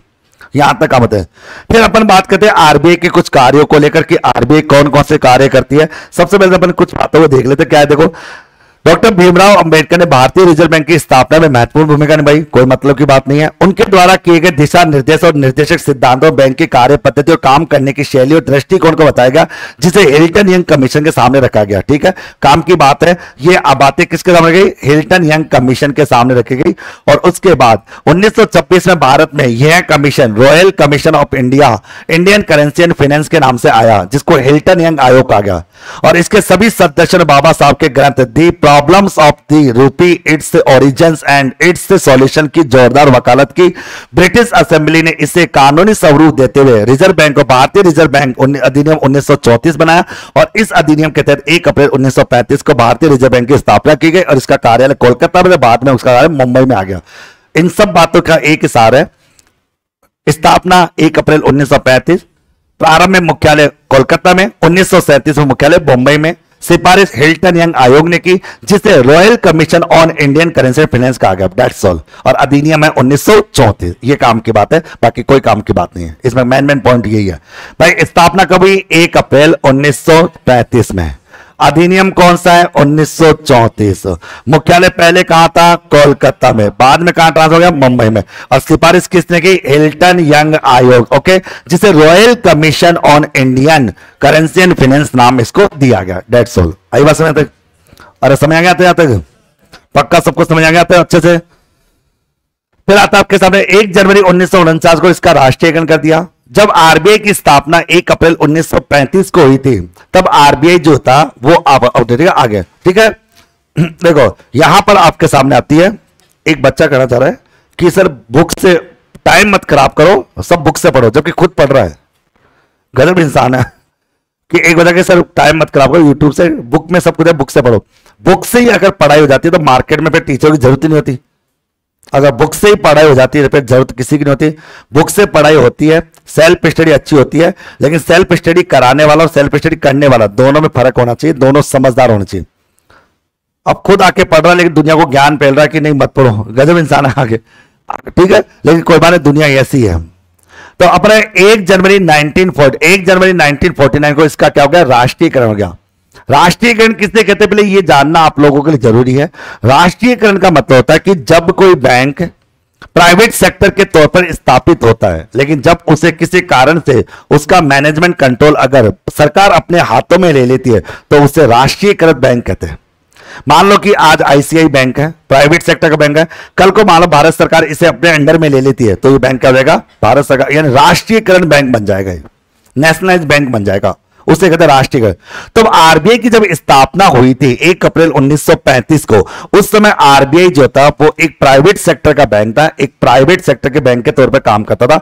बाद में एक जनवरी उन्नीस सौ उनचास को इसे भारत सरकार ने अपने हाथों में ले लिया तो इसका क्या हो गया? राष्ट्रीयकरण जब इसका राष्ट्रीयकरण हुआ था, उस समय आरबीआई के जो गवर्नर सीडी देशमुख थे, चिंतामणि द्वारकानाथ देशमुख थे। ओके, अपन बात करें। सार्वजनिक उपक्रम बना दिया गया। वर्तमान में इसके गवर्नर शक्तिकांत दास है, जिन्होंने 12 दिसंबर 2018 को पदभार ग्रहण किया। संपूर्ण भारत में इसके 27 कार्यालय है और चार इसके उप कार्यालय चार उप कार्यालय दिल्ली, मुंबई, चेन्नई, कोलकाता, अधिकांश सभी राज्यों की राजधानियों में इसके कार्यालय राजस्थान का इसका क्षेत्रीय कार्यालय कहाँ पर जयपुर में। कहाँ पर है? जयपुर में। तो अपन कह सकते हैं तो अपन कह सकते हैं, एक तो इसका मुख्यालय हो गया। चार आ, इसके उप मुख्यालय हो गए और सत्ताईस के क्षेत्रीय कार्यालय हो गए जिसमें राजस्थान की बात है। राजस्थान का कहाँ पर है? जयपुर। ये अपने को याद रखना है ओके? और इसका जो मुखिया होता है वो गवर्नर होता है। इसके गवर्नर कौन है शक्ति गंधा कौन से नंबर के हैं? पच्चीसवें नंबर के। कौन से नंबर के? पच्चीस। क्योंकि पहला गवर्नर था सर आसमन इसमेन और पहला भारतीय गवर्नर सी डी देशमुख। और अब तक कोई महिला गवर्नर आरबीआई में आई नहीं है ठीक है? ध्यान रखना। आगे बात अपने बात करते हैं। भारतीय रिज़र्व बैंक का प्रबंधन और संचालन एक केंद्रीय निर्देशक बोर्ड, यानी संचालक मंडल बोर्ड, यानी बोर्ड ऑफ़ डायरेक्टर्स के द्वारा किया जाता है।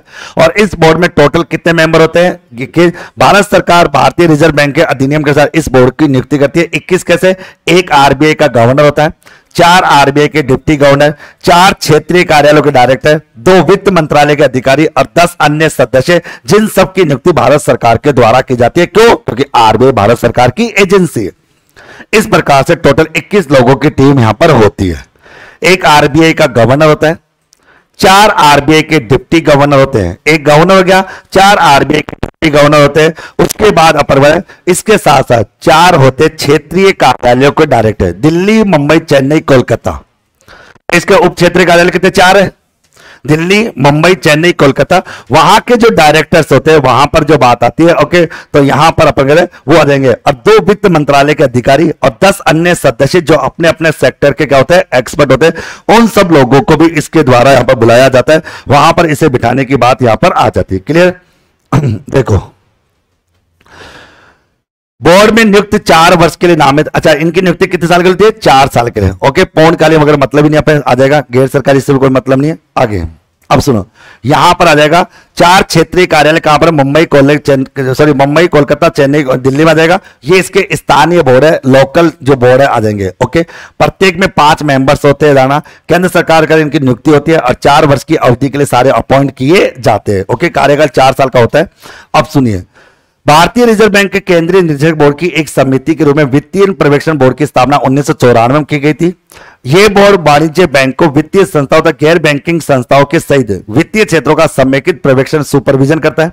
इसकी बैठक महीने में एक बार करना ज़रूरी होती है। किसकी? इसके पर्यवेक्षण बोर्ड की। कब हुआ था? उन्नीस में बना था जिसकी हर महीने बैठक होती है। ओके आरबीआई का महत्वपूर्ण विभाग शोध और सांख्यिकी विभाग है जिसकी स्थापना प्रमुख सलाहकार की अध्यक्षता में उन्नीस में की गई थी और इसमें वर्तमान सांख्यिकी विश्लेषण अभिकल्पित करने की बात आती कोई काम की बात नहीं है। ठीक है रीडिंग करके छोड़ देना बात खत्म। ओके okay, यह विभाग बैंकिंग निगम भुगतान संतुलन क्षेत्र से संबंधित समंकों को इकट्ठा करने का काम करता है। ये आ जाएगी। इसके प्रकाशन आरबीआई का प्रकाश एक तो report on currency and finance होती है। एक आपका trend and progress of banking in India नाम से पता लग जाएगा करेंसी बैंकिंग इस तरह के शब्द जब आ जाए तो क्या बोलोगे? RBI okay central board of directors की बात आ जाए ओके बैंकिंग बैंकिंग आ जाए तो आ जाएगा आपका RBI review of cooperative movements of India की बात है आरबीआई का प्रकाशन है.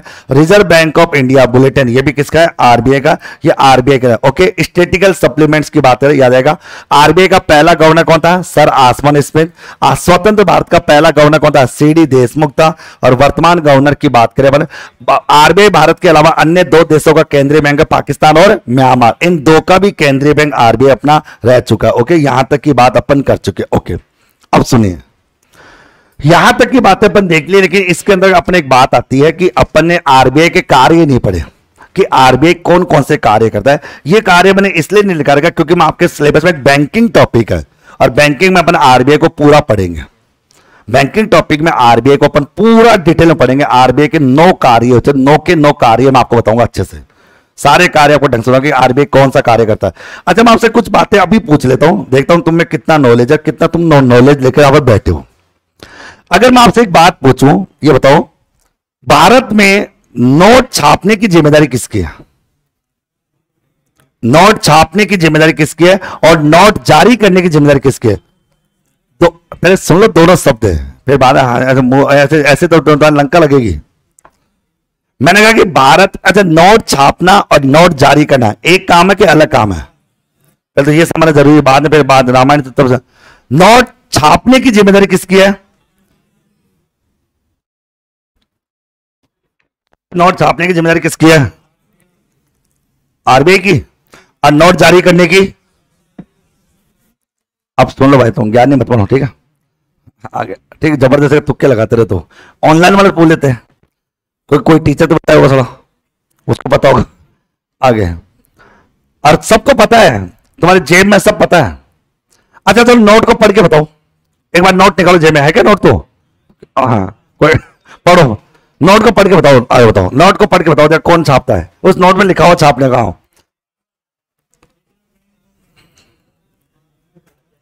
अरे कोई पाँच रुपए का, दस रुपए का जगह सौ का ही निकालो या कोई बड़े कई लोग सौ का निकाल नोट नोट होता है।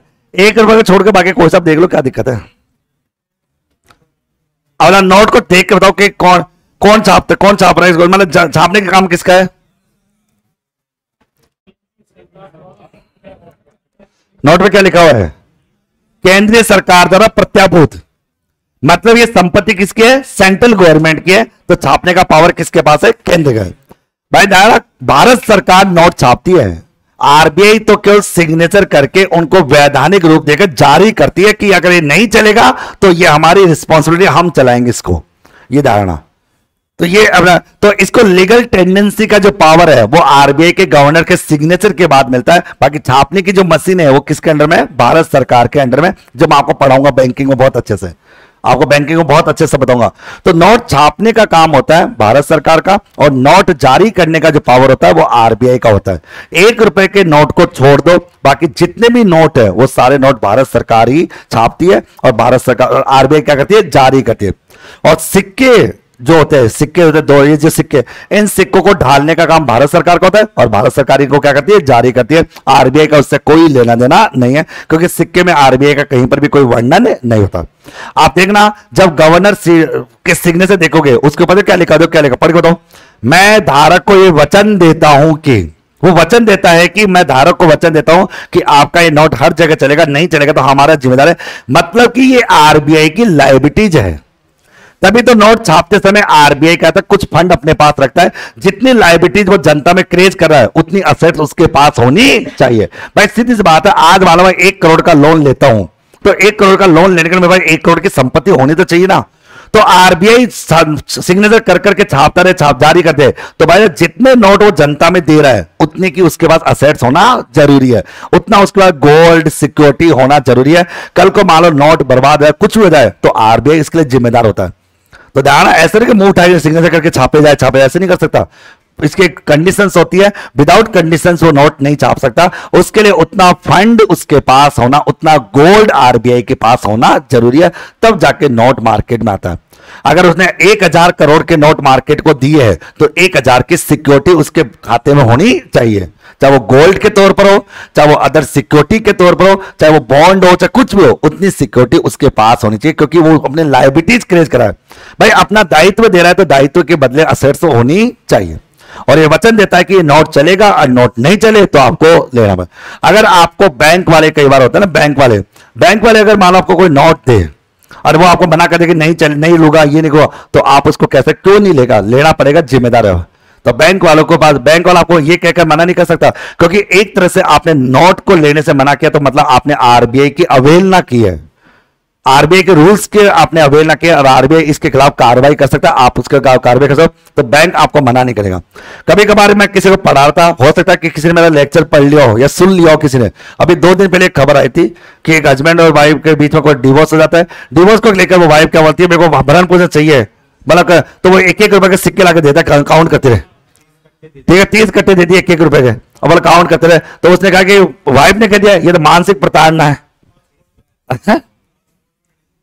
आज आज की नहीं है हाँ तो, तो तो मैं पहले यही पढ़ा रहा था मैं कई बार पढ़ाता था।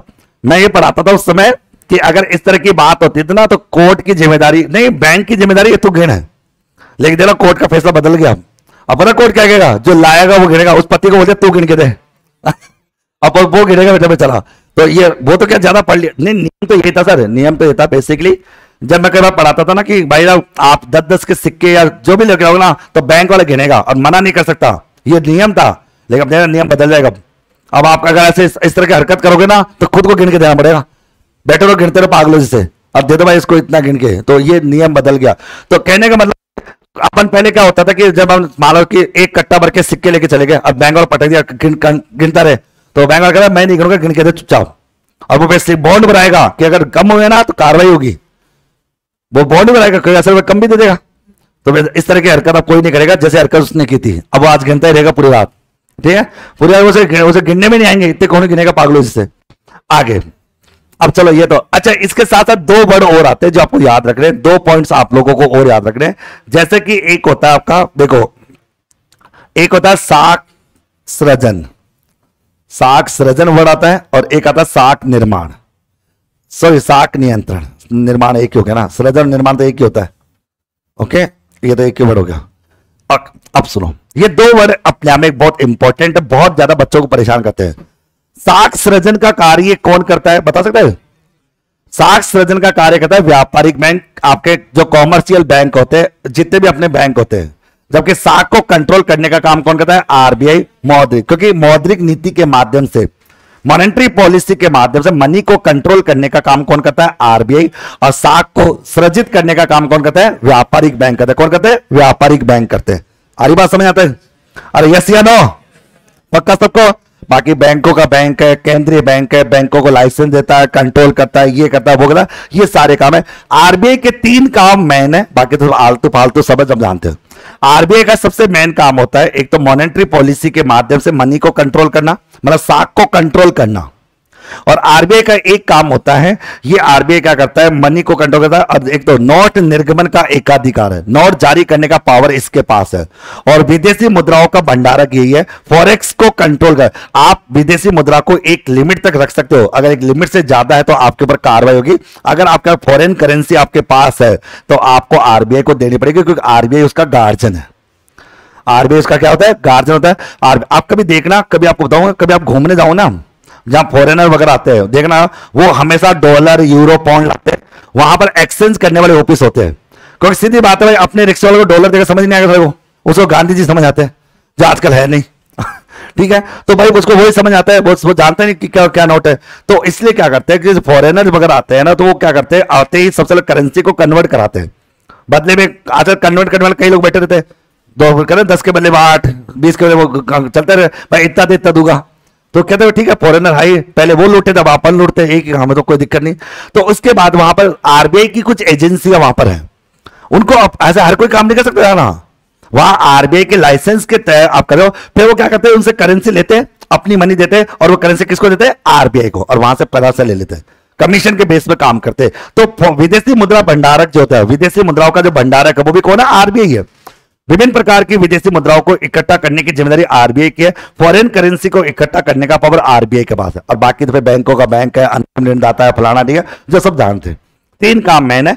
नोट जारी करने का एकाधिकार, मुद्रा पर कंट्रोल करने का पावर और एक होता विदेशी मुद्रा भंडार का संरक्षण। ये तीन काम होते हैं। ये सब बातें अपन कहाँ पढ़ेंगे? बैंकिंग में। तो टेंशन मत लेना। ये सब की सब बातें रिकॉल होगी। ये तो मैं उन गधों के लिए क्लास लेनी पड़ी थी आज। कोई बता कई कहते सब वो यूनिट नंबर नौ नहीं कराई। जबकि सब टॉपिक अपने अपने के सेट थे। S N A C S O N S S O MoSPI ये राष्ट्रीय में थे। आरजीआई अपन जीवन समग्र में पढ़ेंगे। ओके आरबीआई अपन का, इसका नीति आयोग, वो आपका पंचवर्षीय चुनाव पढ़नी होती है वो अपने है नहीं इसलिए पढ़ा दी। और आरबीआई का अपने बैंकों में, और एक लास्ट संस्था बची, उसको सटा लेते खत्म। आगे, यहाँ तक सब क्लियर हो गया? ओके और ओके क्या सबका? तो आरबीआई को अपन डिटेल में वापस और पढ़ेंगे। ठीक है टेंशन मत लेना। हम्म? दिमाग खराब है क्या? पढ़ाई कर। ब्रेक चाहिए उसको यार। है? नहीं नहीं नहीं, फालतू में जो भी है कंट्रोल रखो, आगे। हाँ आगे। गजब इंसान है तुम्हें यार। मतलब ब्रेक चाहिए, तुम्हारे आदमी तो तुमको मगर तुम टीचर की कम ज़रूरत है डॉक्टर की बहुत ज़्यादा ज़रूरत है। तुम अपना भाई, समय रहते, इलाज कराओ ज़्यादा ठीक रहेगा। आगे, पढ़ाई भी ध्यान दो, आगे। आर्थिक और सांख्यिक निदेशालय राजस्थान की बात करते थोड़ा कहते ना कि आदमी को अपने चीज़ों पर सहयोग ना शरीर बॉडी पर या माइंड पर, हर चीज़ पर कंट्रोल होना बहुत ज़रूरी है। जिसको संयम है कंट्रोल है, वो आगे बढ़ता है। और जो नहीं है, वो फिर पता नहीं कहाँ जाता है। आगे देखो। आर्थिक और सांख्यिक निदेशालय राजस्थान सरकार इसके बारे में बात करते हैं। लास्ट पॉइंट में पढ़ लो, कोई दिक्कत नहीं। ठीक है, आगे। कभी कभार ऐसा भी होता है, सर, कई बार ये भी एक पढ़ाई का तरीका होता है।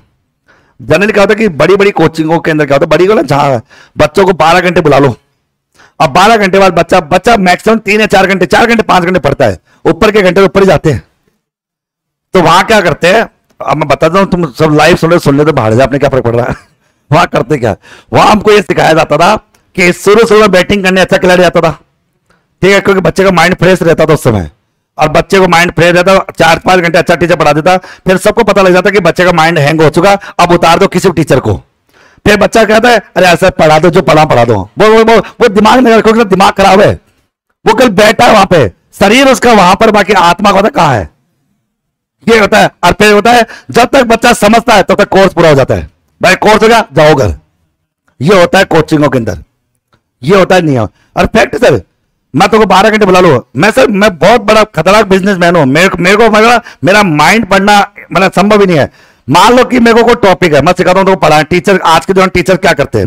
चलो सिखाता हूँ, सब सुन रहे सुनना। जनरली क्या करते हैं, वो बड़े कम्युनिटी टाइप के टीचर होते हैं उनको पता है कि ये वो तो मान लो यहाँ शुरू करा, पढ़ा, उसको पता है कि मेरे को ये चीज़ समझ में नहीं आती। उसको पता है कि ये पैराग्राफ समझ आता।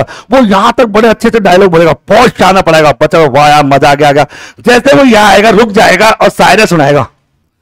शायरा सुनाएगा, अच्छी अच्छी बातें करेगा, मज़े लेगा, कोई बच्चा हंसेगा हंसेगा। बच्चा रुके आगे पढ़ देगा आ जाएगा, आ जाओ। बच्चा हंसने में वैसे बच्चा हंसने में बिज़ी है। बच्चे पता नहीं आगे क्या हो गया।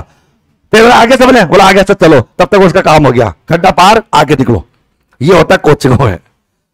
जब भी लगे ना आपको, जब भी कोई बड़ी क्लास या कोई भी हो ना, कोई टीचर तो कोई शायरी सुनाए, कोई तो समझ जाना कि आगे का टॉपिक टिपिकल आने वाला है, वो आगे कूदना चाहता है।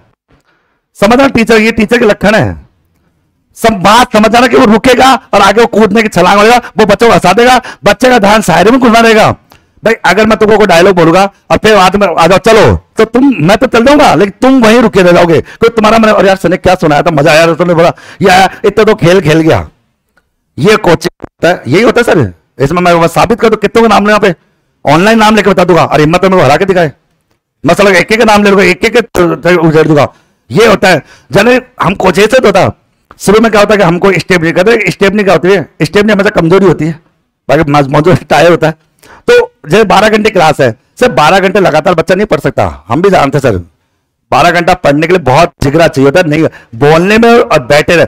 अभी मैं आपको डायलॉग मार सकता हूँ सर, कि यार पढ़ो पढ़ो। बट सर, इस जगह मैं बैठू तो फिर मेरी नानी आदत है प्रैक्टिकली देखा ना तो मैं प्रैक्टिकली संभव नहीं है। मैं तो तुम्हारे सामने डायलॉग मारते अलग बात है। अगर मैं बैठू तो मेरे को नानी आदत है नहीं बैठ सकता भाई। भाई, इतनी देर बैठ के रहना, थोड़ा असंभव घटना है। नहीं होता बार बार उठना, हर दो ढाई घंटे बाद उठना पड़ता है, समझ आ गया। तो पढ़ा देते हैं, उसके बाद लगता है कि अब बच्चे का दिमाग हो गया। अब जैसे सपोज़ करो, तुम सब, तुम्हारा सबका दिमाग हैंग हो गया। अब मालूम है तुम्हारा ब्रेक नहीं दो, किसी ऐसे टीचर उतार दो पढ़ा के ऐसा चुपचाप तुम वो गंदा तंदा जैसा पढ़ा पढ़ लोगे गारंटी है, क्योंकि तुम्हारा ध्यान ही नहीं उधर। तुम्हारा ध्यान तो बाहर जाने का है। तुम्हारा अदर एक्टिविटीज़ में ध्यान है। ये होता है एजुकेशन के अंदर एजुकेशन में इस तरह का गंदा खेल खेला जाता है। ठीक है? जिनका कभी अपन पर्दापास कर देंगे मैं एक एक नाम लेकर बोल दूँगा। मेरे को अपने को डर तो लगता ही नहीं। डर लगे उसको जो कमज़ोर हो। अपन तो डरे ही नहीं। यही होता है सर फैक्ट्स है, सत्य है। बाकी बताओ कि मैं कई बार देखता है मैं एक बार पढ़ा रहा था कोचिंग में। अब मैं पढ़ा रहा था मैं पढ़ा रहा था कि कोई टॉपिक इधर अगर तेजाजी महाराज की जय। अब वो जय कहाँ से आ गई? क्लास में जयकारे चल रहे यार मैंने ये सर कि क्लास में जयकारे कोई मंदिर बैठे हो क्या? मानसिक शिक्षा का मंदिर है, वो ये तो मंदिर समझ लो। भाई, ऐसा होता है। जनरली इस तरह की हरकत होती है, बाकी गलत चीज़। वहाँ पर गलत चीज़ गलत होता है। जैसे कि, मैं सर, अपन कैसे होंगे? डजन मैटर हर टीचर कैसा होगा, ये कोई मैटर नहीं करता, क्योंकि उसकी सबकी पर्सनल लाइफ बाहर जा, कोई जाके अपने को उससे क्या लेना, क्या देना, कौन कैसा है, सबका प्रमाण पत्र अपने पास नहीं होता। मैंने कई बार एजुकेशन फ़ील्ड में इस तरह के लोग देखे हैं, जो, मैं क्यों बोलता हूँ ऐसा? कि लाइव आके पढ़ा है। क्योंकि जानता हूँ कि अश्लीलता की हरकत वो करेगा ही करेगा। वो कोई वर्ड आएगा डबल मीन को उसको बोलेगा बोलेगा। पक्की बात है नाइनटी नाइन बोलता है, सब बोलते हैं। हम, मैं, मेरी आदत है सर, मैं जब इस मंच पे आता हूँ ना तो बहुत, मैं बाहर तो अलग टाइप का हूँ मेरी बाहर की ज़िंदगी तो तुम देखना मत कभी। बहुत डेंजर ज़िंदगी वाला तो जब अपन इस मंच पे आता है ना तो उस समय ये रहता है कि हाँ टीचर है तो संयम में रहे। क्योंकि उस समय गर्ल्स एंड बॉयज़ दोनों बैठे रहते हैं। गर्ल्स एंड बॉयज़ दोनों बैठे तो उस समय थोड़ा संयम रखे कि क्या शब्दों का प्रयोग करें। कभी कभार क्या होता है, कुछ शब्द ऐसे आ जाते हैं जो अपने अकाउंट से पढ़ाते हैं हम जैसे कई बार मैं तुम सोना अगर अकाउंट पढ़ाता हूँ तो वहाँ पे ऐसे लिखा देता है बैलेंसिंग फिगर लिख लेता हूँ कि बैलेंसिंग फिगर है। अब बच्चा पूछता है, जब हम बोल चुका कि बैलेंसिंग फिगर है, बता सर क्या लिखा क्या लिखा, बताना। वो सब पूछ, पता है सर, गधे को मैंने लिखा है। मैंने बोल दिया कि बैलेंसिंग फिगर अंतर की राशि है। लेकिन पूछता है, लेकिन मेरे केस में क्या होता है, वो जानता है कि मैं सुनाऊँगा। तो कई लोग क्या होते हैं, उसको हाईलाइट कर, करके उसके बारे में बताने की कोशिश करते हैं, वो गलत है। आप पर्सनल लाइफ आपकी कैसे है, वो डजन मैटर वो आप अलग जियो, और बाकी बिज़नेस लाइफ या एजुकेशन लाइफ को आप अलग जियो, ये ज़्यादा बेस्ट होता है। ये मैंने देखा है। बहुत रेयर केस में कहाँ पे तो ये चीज़ घटना घटित होती है। इसलिए तो मैं सब बोलता हूँ, केवल लाइव आए ना, मज़ा आएगा सब। नहीं आ पाएँगे तो लाइव है। गारंटी है। और वो कहे कि अच्छा कई लोग कहते लाइव आके हमारा बिज़नेस खत्म हो जाएगा। मैं कहा, बेवकूफ़ चले मूर्ख है। मैं उनको लाइव लाना था इसलिए क्योंकि आज कहते कुत्ते की पूरी टेडी रहती टेडी सीधी नहीं हो सकती। तो टीचर की पूछ में टेडी रहेगी रहेगा सीधी कैसे होगी? बोलेगा वही जो वहाँ बोलता है। तो एक बार लाइव आकर बोले से पता पड़ेगा क्लास में बोलता क्या है। सब दुनिया देखे, सारा लाइव देखे तो ये चीज़ें होती है। नहीं, इतना सुनने के बाद ही सब चुपचाप बैठे पता किस बात का डर लग रहा है? भाई अच्छा किस बात का डर मेरे को आज तक से क्यों डर लग रहा है? हमारी क्लास सारी लाइव चल रही है, अपन जो बातें करें सब सुन रहे हैं। सुनो, कोई गलत बात बोल ही नहीं रहे। सुनते रहो आराम से, क्या दिक्कत है? कई लोग मेरे को कहते हैं मुकेश जी तू बच के आकर तेरे कोल निकलो। हो जाएगा क्या गलत बोल दिया? चलो जैसा देश वैसा बेस सामने वाला बोलेगा गाली तो अपन भी डबल गाली सुनाएँगे। रिकॉर्ड कर। बोले एक ने तीन मार कर रिकॉर्ड कर अच्छे से। फिर एक बच्चा बोलता है कि सर आपने लूट लिया बर्बाद कर दिया डेमो नहीं दिया। मैं सर गधा के साढ़े आठ हज़ार यूट्यूब पे है। बोले मैंने देखा नहीं होते तेरी गलती है। तो मेरी गलती है तू तूने ये कैसे बोला तूने लूट लिया? भाई हमारी सारी क्लासेस यूट्यूब पे तो डे, अच्छा डेमो देखें क्या डेमो देखना? देख लो कितना देखो डेमो। तो इस तरह की हरकत यहाँ पर रहती है। अब चलते आगे लास्ट पॉइंट देखते हैं। देखो, आर्थिक और सांख्यिक निदेशालय, ये राजस्थान में है। राजस्थान में कहाँ पर है? जयपुर में, ठीक है? यही बीमारी है। देखो, इसका काम है, राजस्थान राज्य का पुनर्गठन रियासतों को मिलाकर 1956 में पूर्ण हुआ। इससे पूर्व 1955 जयपुर में एक सांख्यिकी ब्यूरो की स्थापना हुई थी। भाई 1950 1950 में कौन सा ब्यूरो बनाता एक सांख्यिकी ब्यूरो बनाता ओके? कौन सा? सांख्यिकीय वीरों का गठन 1950 में किया गया था, जिसका मुख्य अधिकारी सांख्यिक अधिकारी होता था, यानी मुख्य अधिकारी सांख्यिक अधिकारी माना जाता है। ओके, आगे। उसके बाद अपन बात करें ओके तो अपन कह सकते हैं सांख्यिक वीरों के द्वारा प्रशासन की ओर से उपलब्ध कराए गए आंकड़ों को संसाधित करना और विध्यन करने का कार्य किया जाता था। और उन्नीस सौ छप्पन में फिर कौन संस्था बन जाती है आपकी? सांख्यिकी ब्यूरो को पुनर्गठित करके इसके कार्यकलापों में विस्तार करके इसका नाम और अर्थ सांख्यिक निदेशालय, आर्थिक सॉरी आर्थिक एवं सांख्यिक निदेशालय कर दिया गया और ये राज्य में उन सभी कार्यों का निर्वहन करता है जिनका कार्य केंद्र सरकार में सीएसओ करता है। सिंपल सी बात है, केंद्र में कौन बैठा है? सीएसओ तो राजस्थान में कौन बैठा है? डीईएस मतलब आपका director of economic and statistics आर्थिक एवं सांख्यिक निदेशालय जो काम सेंटर में कौन करता है? सीएसओ करता है। वो काम राज्य में कौन करता है अपना? डीएस यानी आर्थिक, या आर्थिक है। आर्थिक एवं सांख्यिक निदेशालय, जिसका स्थापना कभी उन्नीस सौ छप्पन में। मुख्यालय कहाँ पर है? जयपुर में। और इसका जो प्रमुख होता है, वो डायरेक्टर होता है। वर्तमान डायरेक्टर कौन है? भवन लाल जी, कौन है? भवन लाल जी बेरवा। पहले ओम प्रकाश जी बेरवा थे भवन लाल जी बेरवा ठीक है, आप आगे। तो वर्तमान में इसके जो है भवलाल बेरवा है, बाकी सबने को मतलब है ढांचा है, ढांचा के बाहर में। आगे। अब आ जाता है, यहाँ पर इसके काम क्या होते हैं? जीवनांग। जीवनांग बोले वाइटल स्टेटिक्स उद्योग और मूल्य समंग इकट्ठे करना, नियोजन संबंधित डेटाओं का नियोजन समन्वय करना सैंपलिंग सर्वेक्षण राजस्थान को लेकर ओके प्रशासन, लेखा, जिला सिंपल सी बात है, जो काम सेंटर में एनएसएस और सीएसओ करता है ना, वो काम राज्य में ये करता है, सीधी बात है। सारा काम डेटा केंद्र के जो डेटा कलेक्ट करने का काम सीएसओ और एनएसएसओ का, वो काम राज्य का इसका, इतनी सी बात समझ आना बाकी लंबी चौड़ी रामायण पढ़ने से कोई मतलब ही नहीं है ओके उक्त प्रभारी अधिकारियों के अलावा ये फिर इसका ढांचा है, ढांचे से अपने को कोई लेना देना नहीं, कोई काम आता भी नहीं, ठीक है? क्लियर इसके काम, ये काम ज़रूर है कि ये क्या क्या काम करता है। पहला, एक तो ये राज्य की विभिन्न सांख्यिकीय इकाइयों में क्या करता है? समन्वय। याद करो अपन सीएसएम पढ़ा था? समन्वय। पढ़ा था, नहीं पढ़ा था? ठीक है, आगे। निदेशालय केंद्र सरकार और अन्य राज्यों के सर्वोच्च सांख्यिक कार्यक्रमों का संपर्क करता है और उनको आदान प्रदान। आपको याद है परामर्श? याद आ रहा कुछ? भाई सीएसओ का एक कार्य परामर्श तो ये भी परामर्श करता है। आपस में परामर्श देने का कार्य करता है, ओके? समंककों में एक रूपता के लिए सर्वेक्षण में प्रयुक्त अवधारणाओं और परिभाषाओं को प्रमापे आप कह प्रमापों का निर्धारण? याद करो, प्रमापों का निर्धारण। तो वही प्रमापों का निर्धारण करता है। वो जो सारे कार्य सीएस हो गए वो सारे कार्य यहाँ पर ही है। ओके? निदेशालय राज्य के विभिन्न सांख्यिकी इकाइयों को तकनीकी सलाह देता है, परामर्श देता है, नीति निर्धारण करता है, कार्यों और नीतियों को बारे में सलाह देने का काम इसी का होता है। यह सलाह एडवाइस देने का काम करता है। फिर होता है, विभिन्न योजनाओं और पंचवर्षीय पंचवर्षीय सांख्यिकी इकाइयों को तकनीकी सलाह देना, उसके नीति निर्धारण की बात कराओगे, ठीक है, आगे, अब देखो अब देखो। तो अपन कहते हैं, नीति निर्धारण कार्यों और नीतियों के बारे में सलाह देना याद आएगा डाटा को सार्वजनिक रूप से रेखा चित्र करना, उनका चार्ट आदि बनाना, ये तैयार करना। निदेशालय राज्य में कृषि उत्पादन, पशु गणना, उद्योग संबंधी, श्रम संबंधी डाटा इकट्ठे करना और उनका विश्लेषण करना, ये प्रश्न एग्ज़ाम में आया भी था आप लोगों का, क्लियर? तो ये सारे काम किसके होते हैं आपके? निदेशालय कृषि उत्पाद सूचकांक, थोक मूल्य सूचकांक, उपभोक्ता मूल्य सूचकांक को तैयार करता है। राज्य की इनकम का अनुमान लगाना, आर्थिक, सामाजिक सर्वेक्षण को नियुक्त करना राज्य कर्मचारियों की गणना करना ओके, सम्मेलन और प्रशिक्षण कार्यशालाओं का कार्य आयोजना करना, अनेक प्रकार के सर्वेक्षण समंकों को नियमित रूप से प्रकाशित करना, ये सारे काम होते हैं। अब इसके रिपोर्ट क्या क्या होती है? रबी और खरीफ की फ़सलों का सर्वेक्षण करेगा, सिंचाई परियोजनाओं का लागत, लाभ विश्लेषण करेगा, नहरी क्षेत्र के बेंच मार्क का सर्वेक्षण करेगा। मतलब सर्वेक्षण से संबंधित सारे काम राज्य में इसी के द्वारा किए जाते हैं। यही सारा काम। ग्रामीण बेरोजगारी का अध्ययन करना, जन्म, मरण और प्रवचन प्रतिशत सर्वेक्षण करना श्रमित पारिवारिक बजट सर्वेक्षण करना, रहन सहन उपभोग सर्वेक्षण करना। मैं आपको एक बात समझाता सुना सीएसओ एनएसएसओ और आरजीआई ये कार्य कौन करते हैं? केंद्र के। ये सब किसके? केंद्र के। जो काम ये तीनों करते हैं, वो सारा काम राज्य में कौन करता है? ये अकेला करता है। सीधी बात है।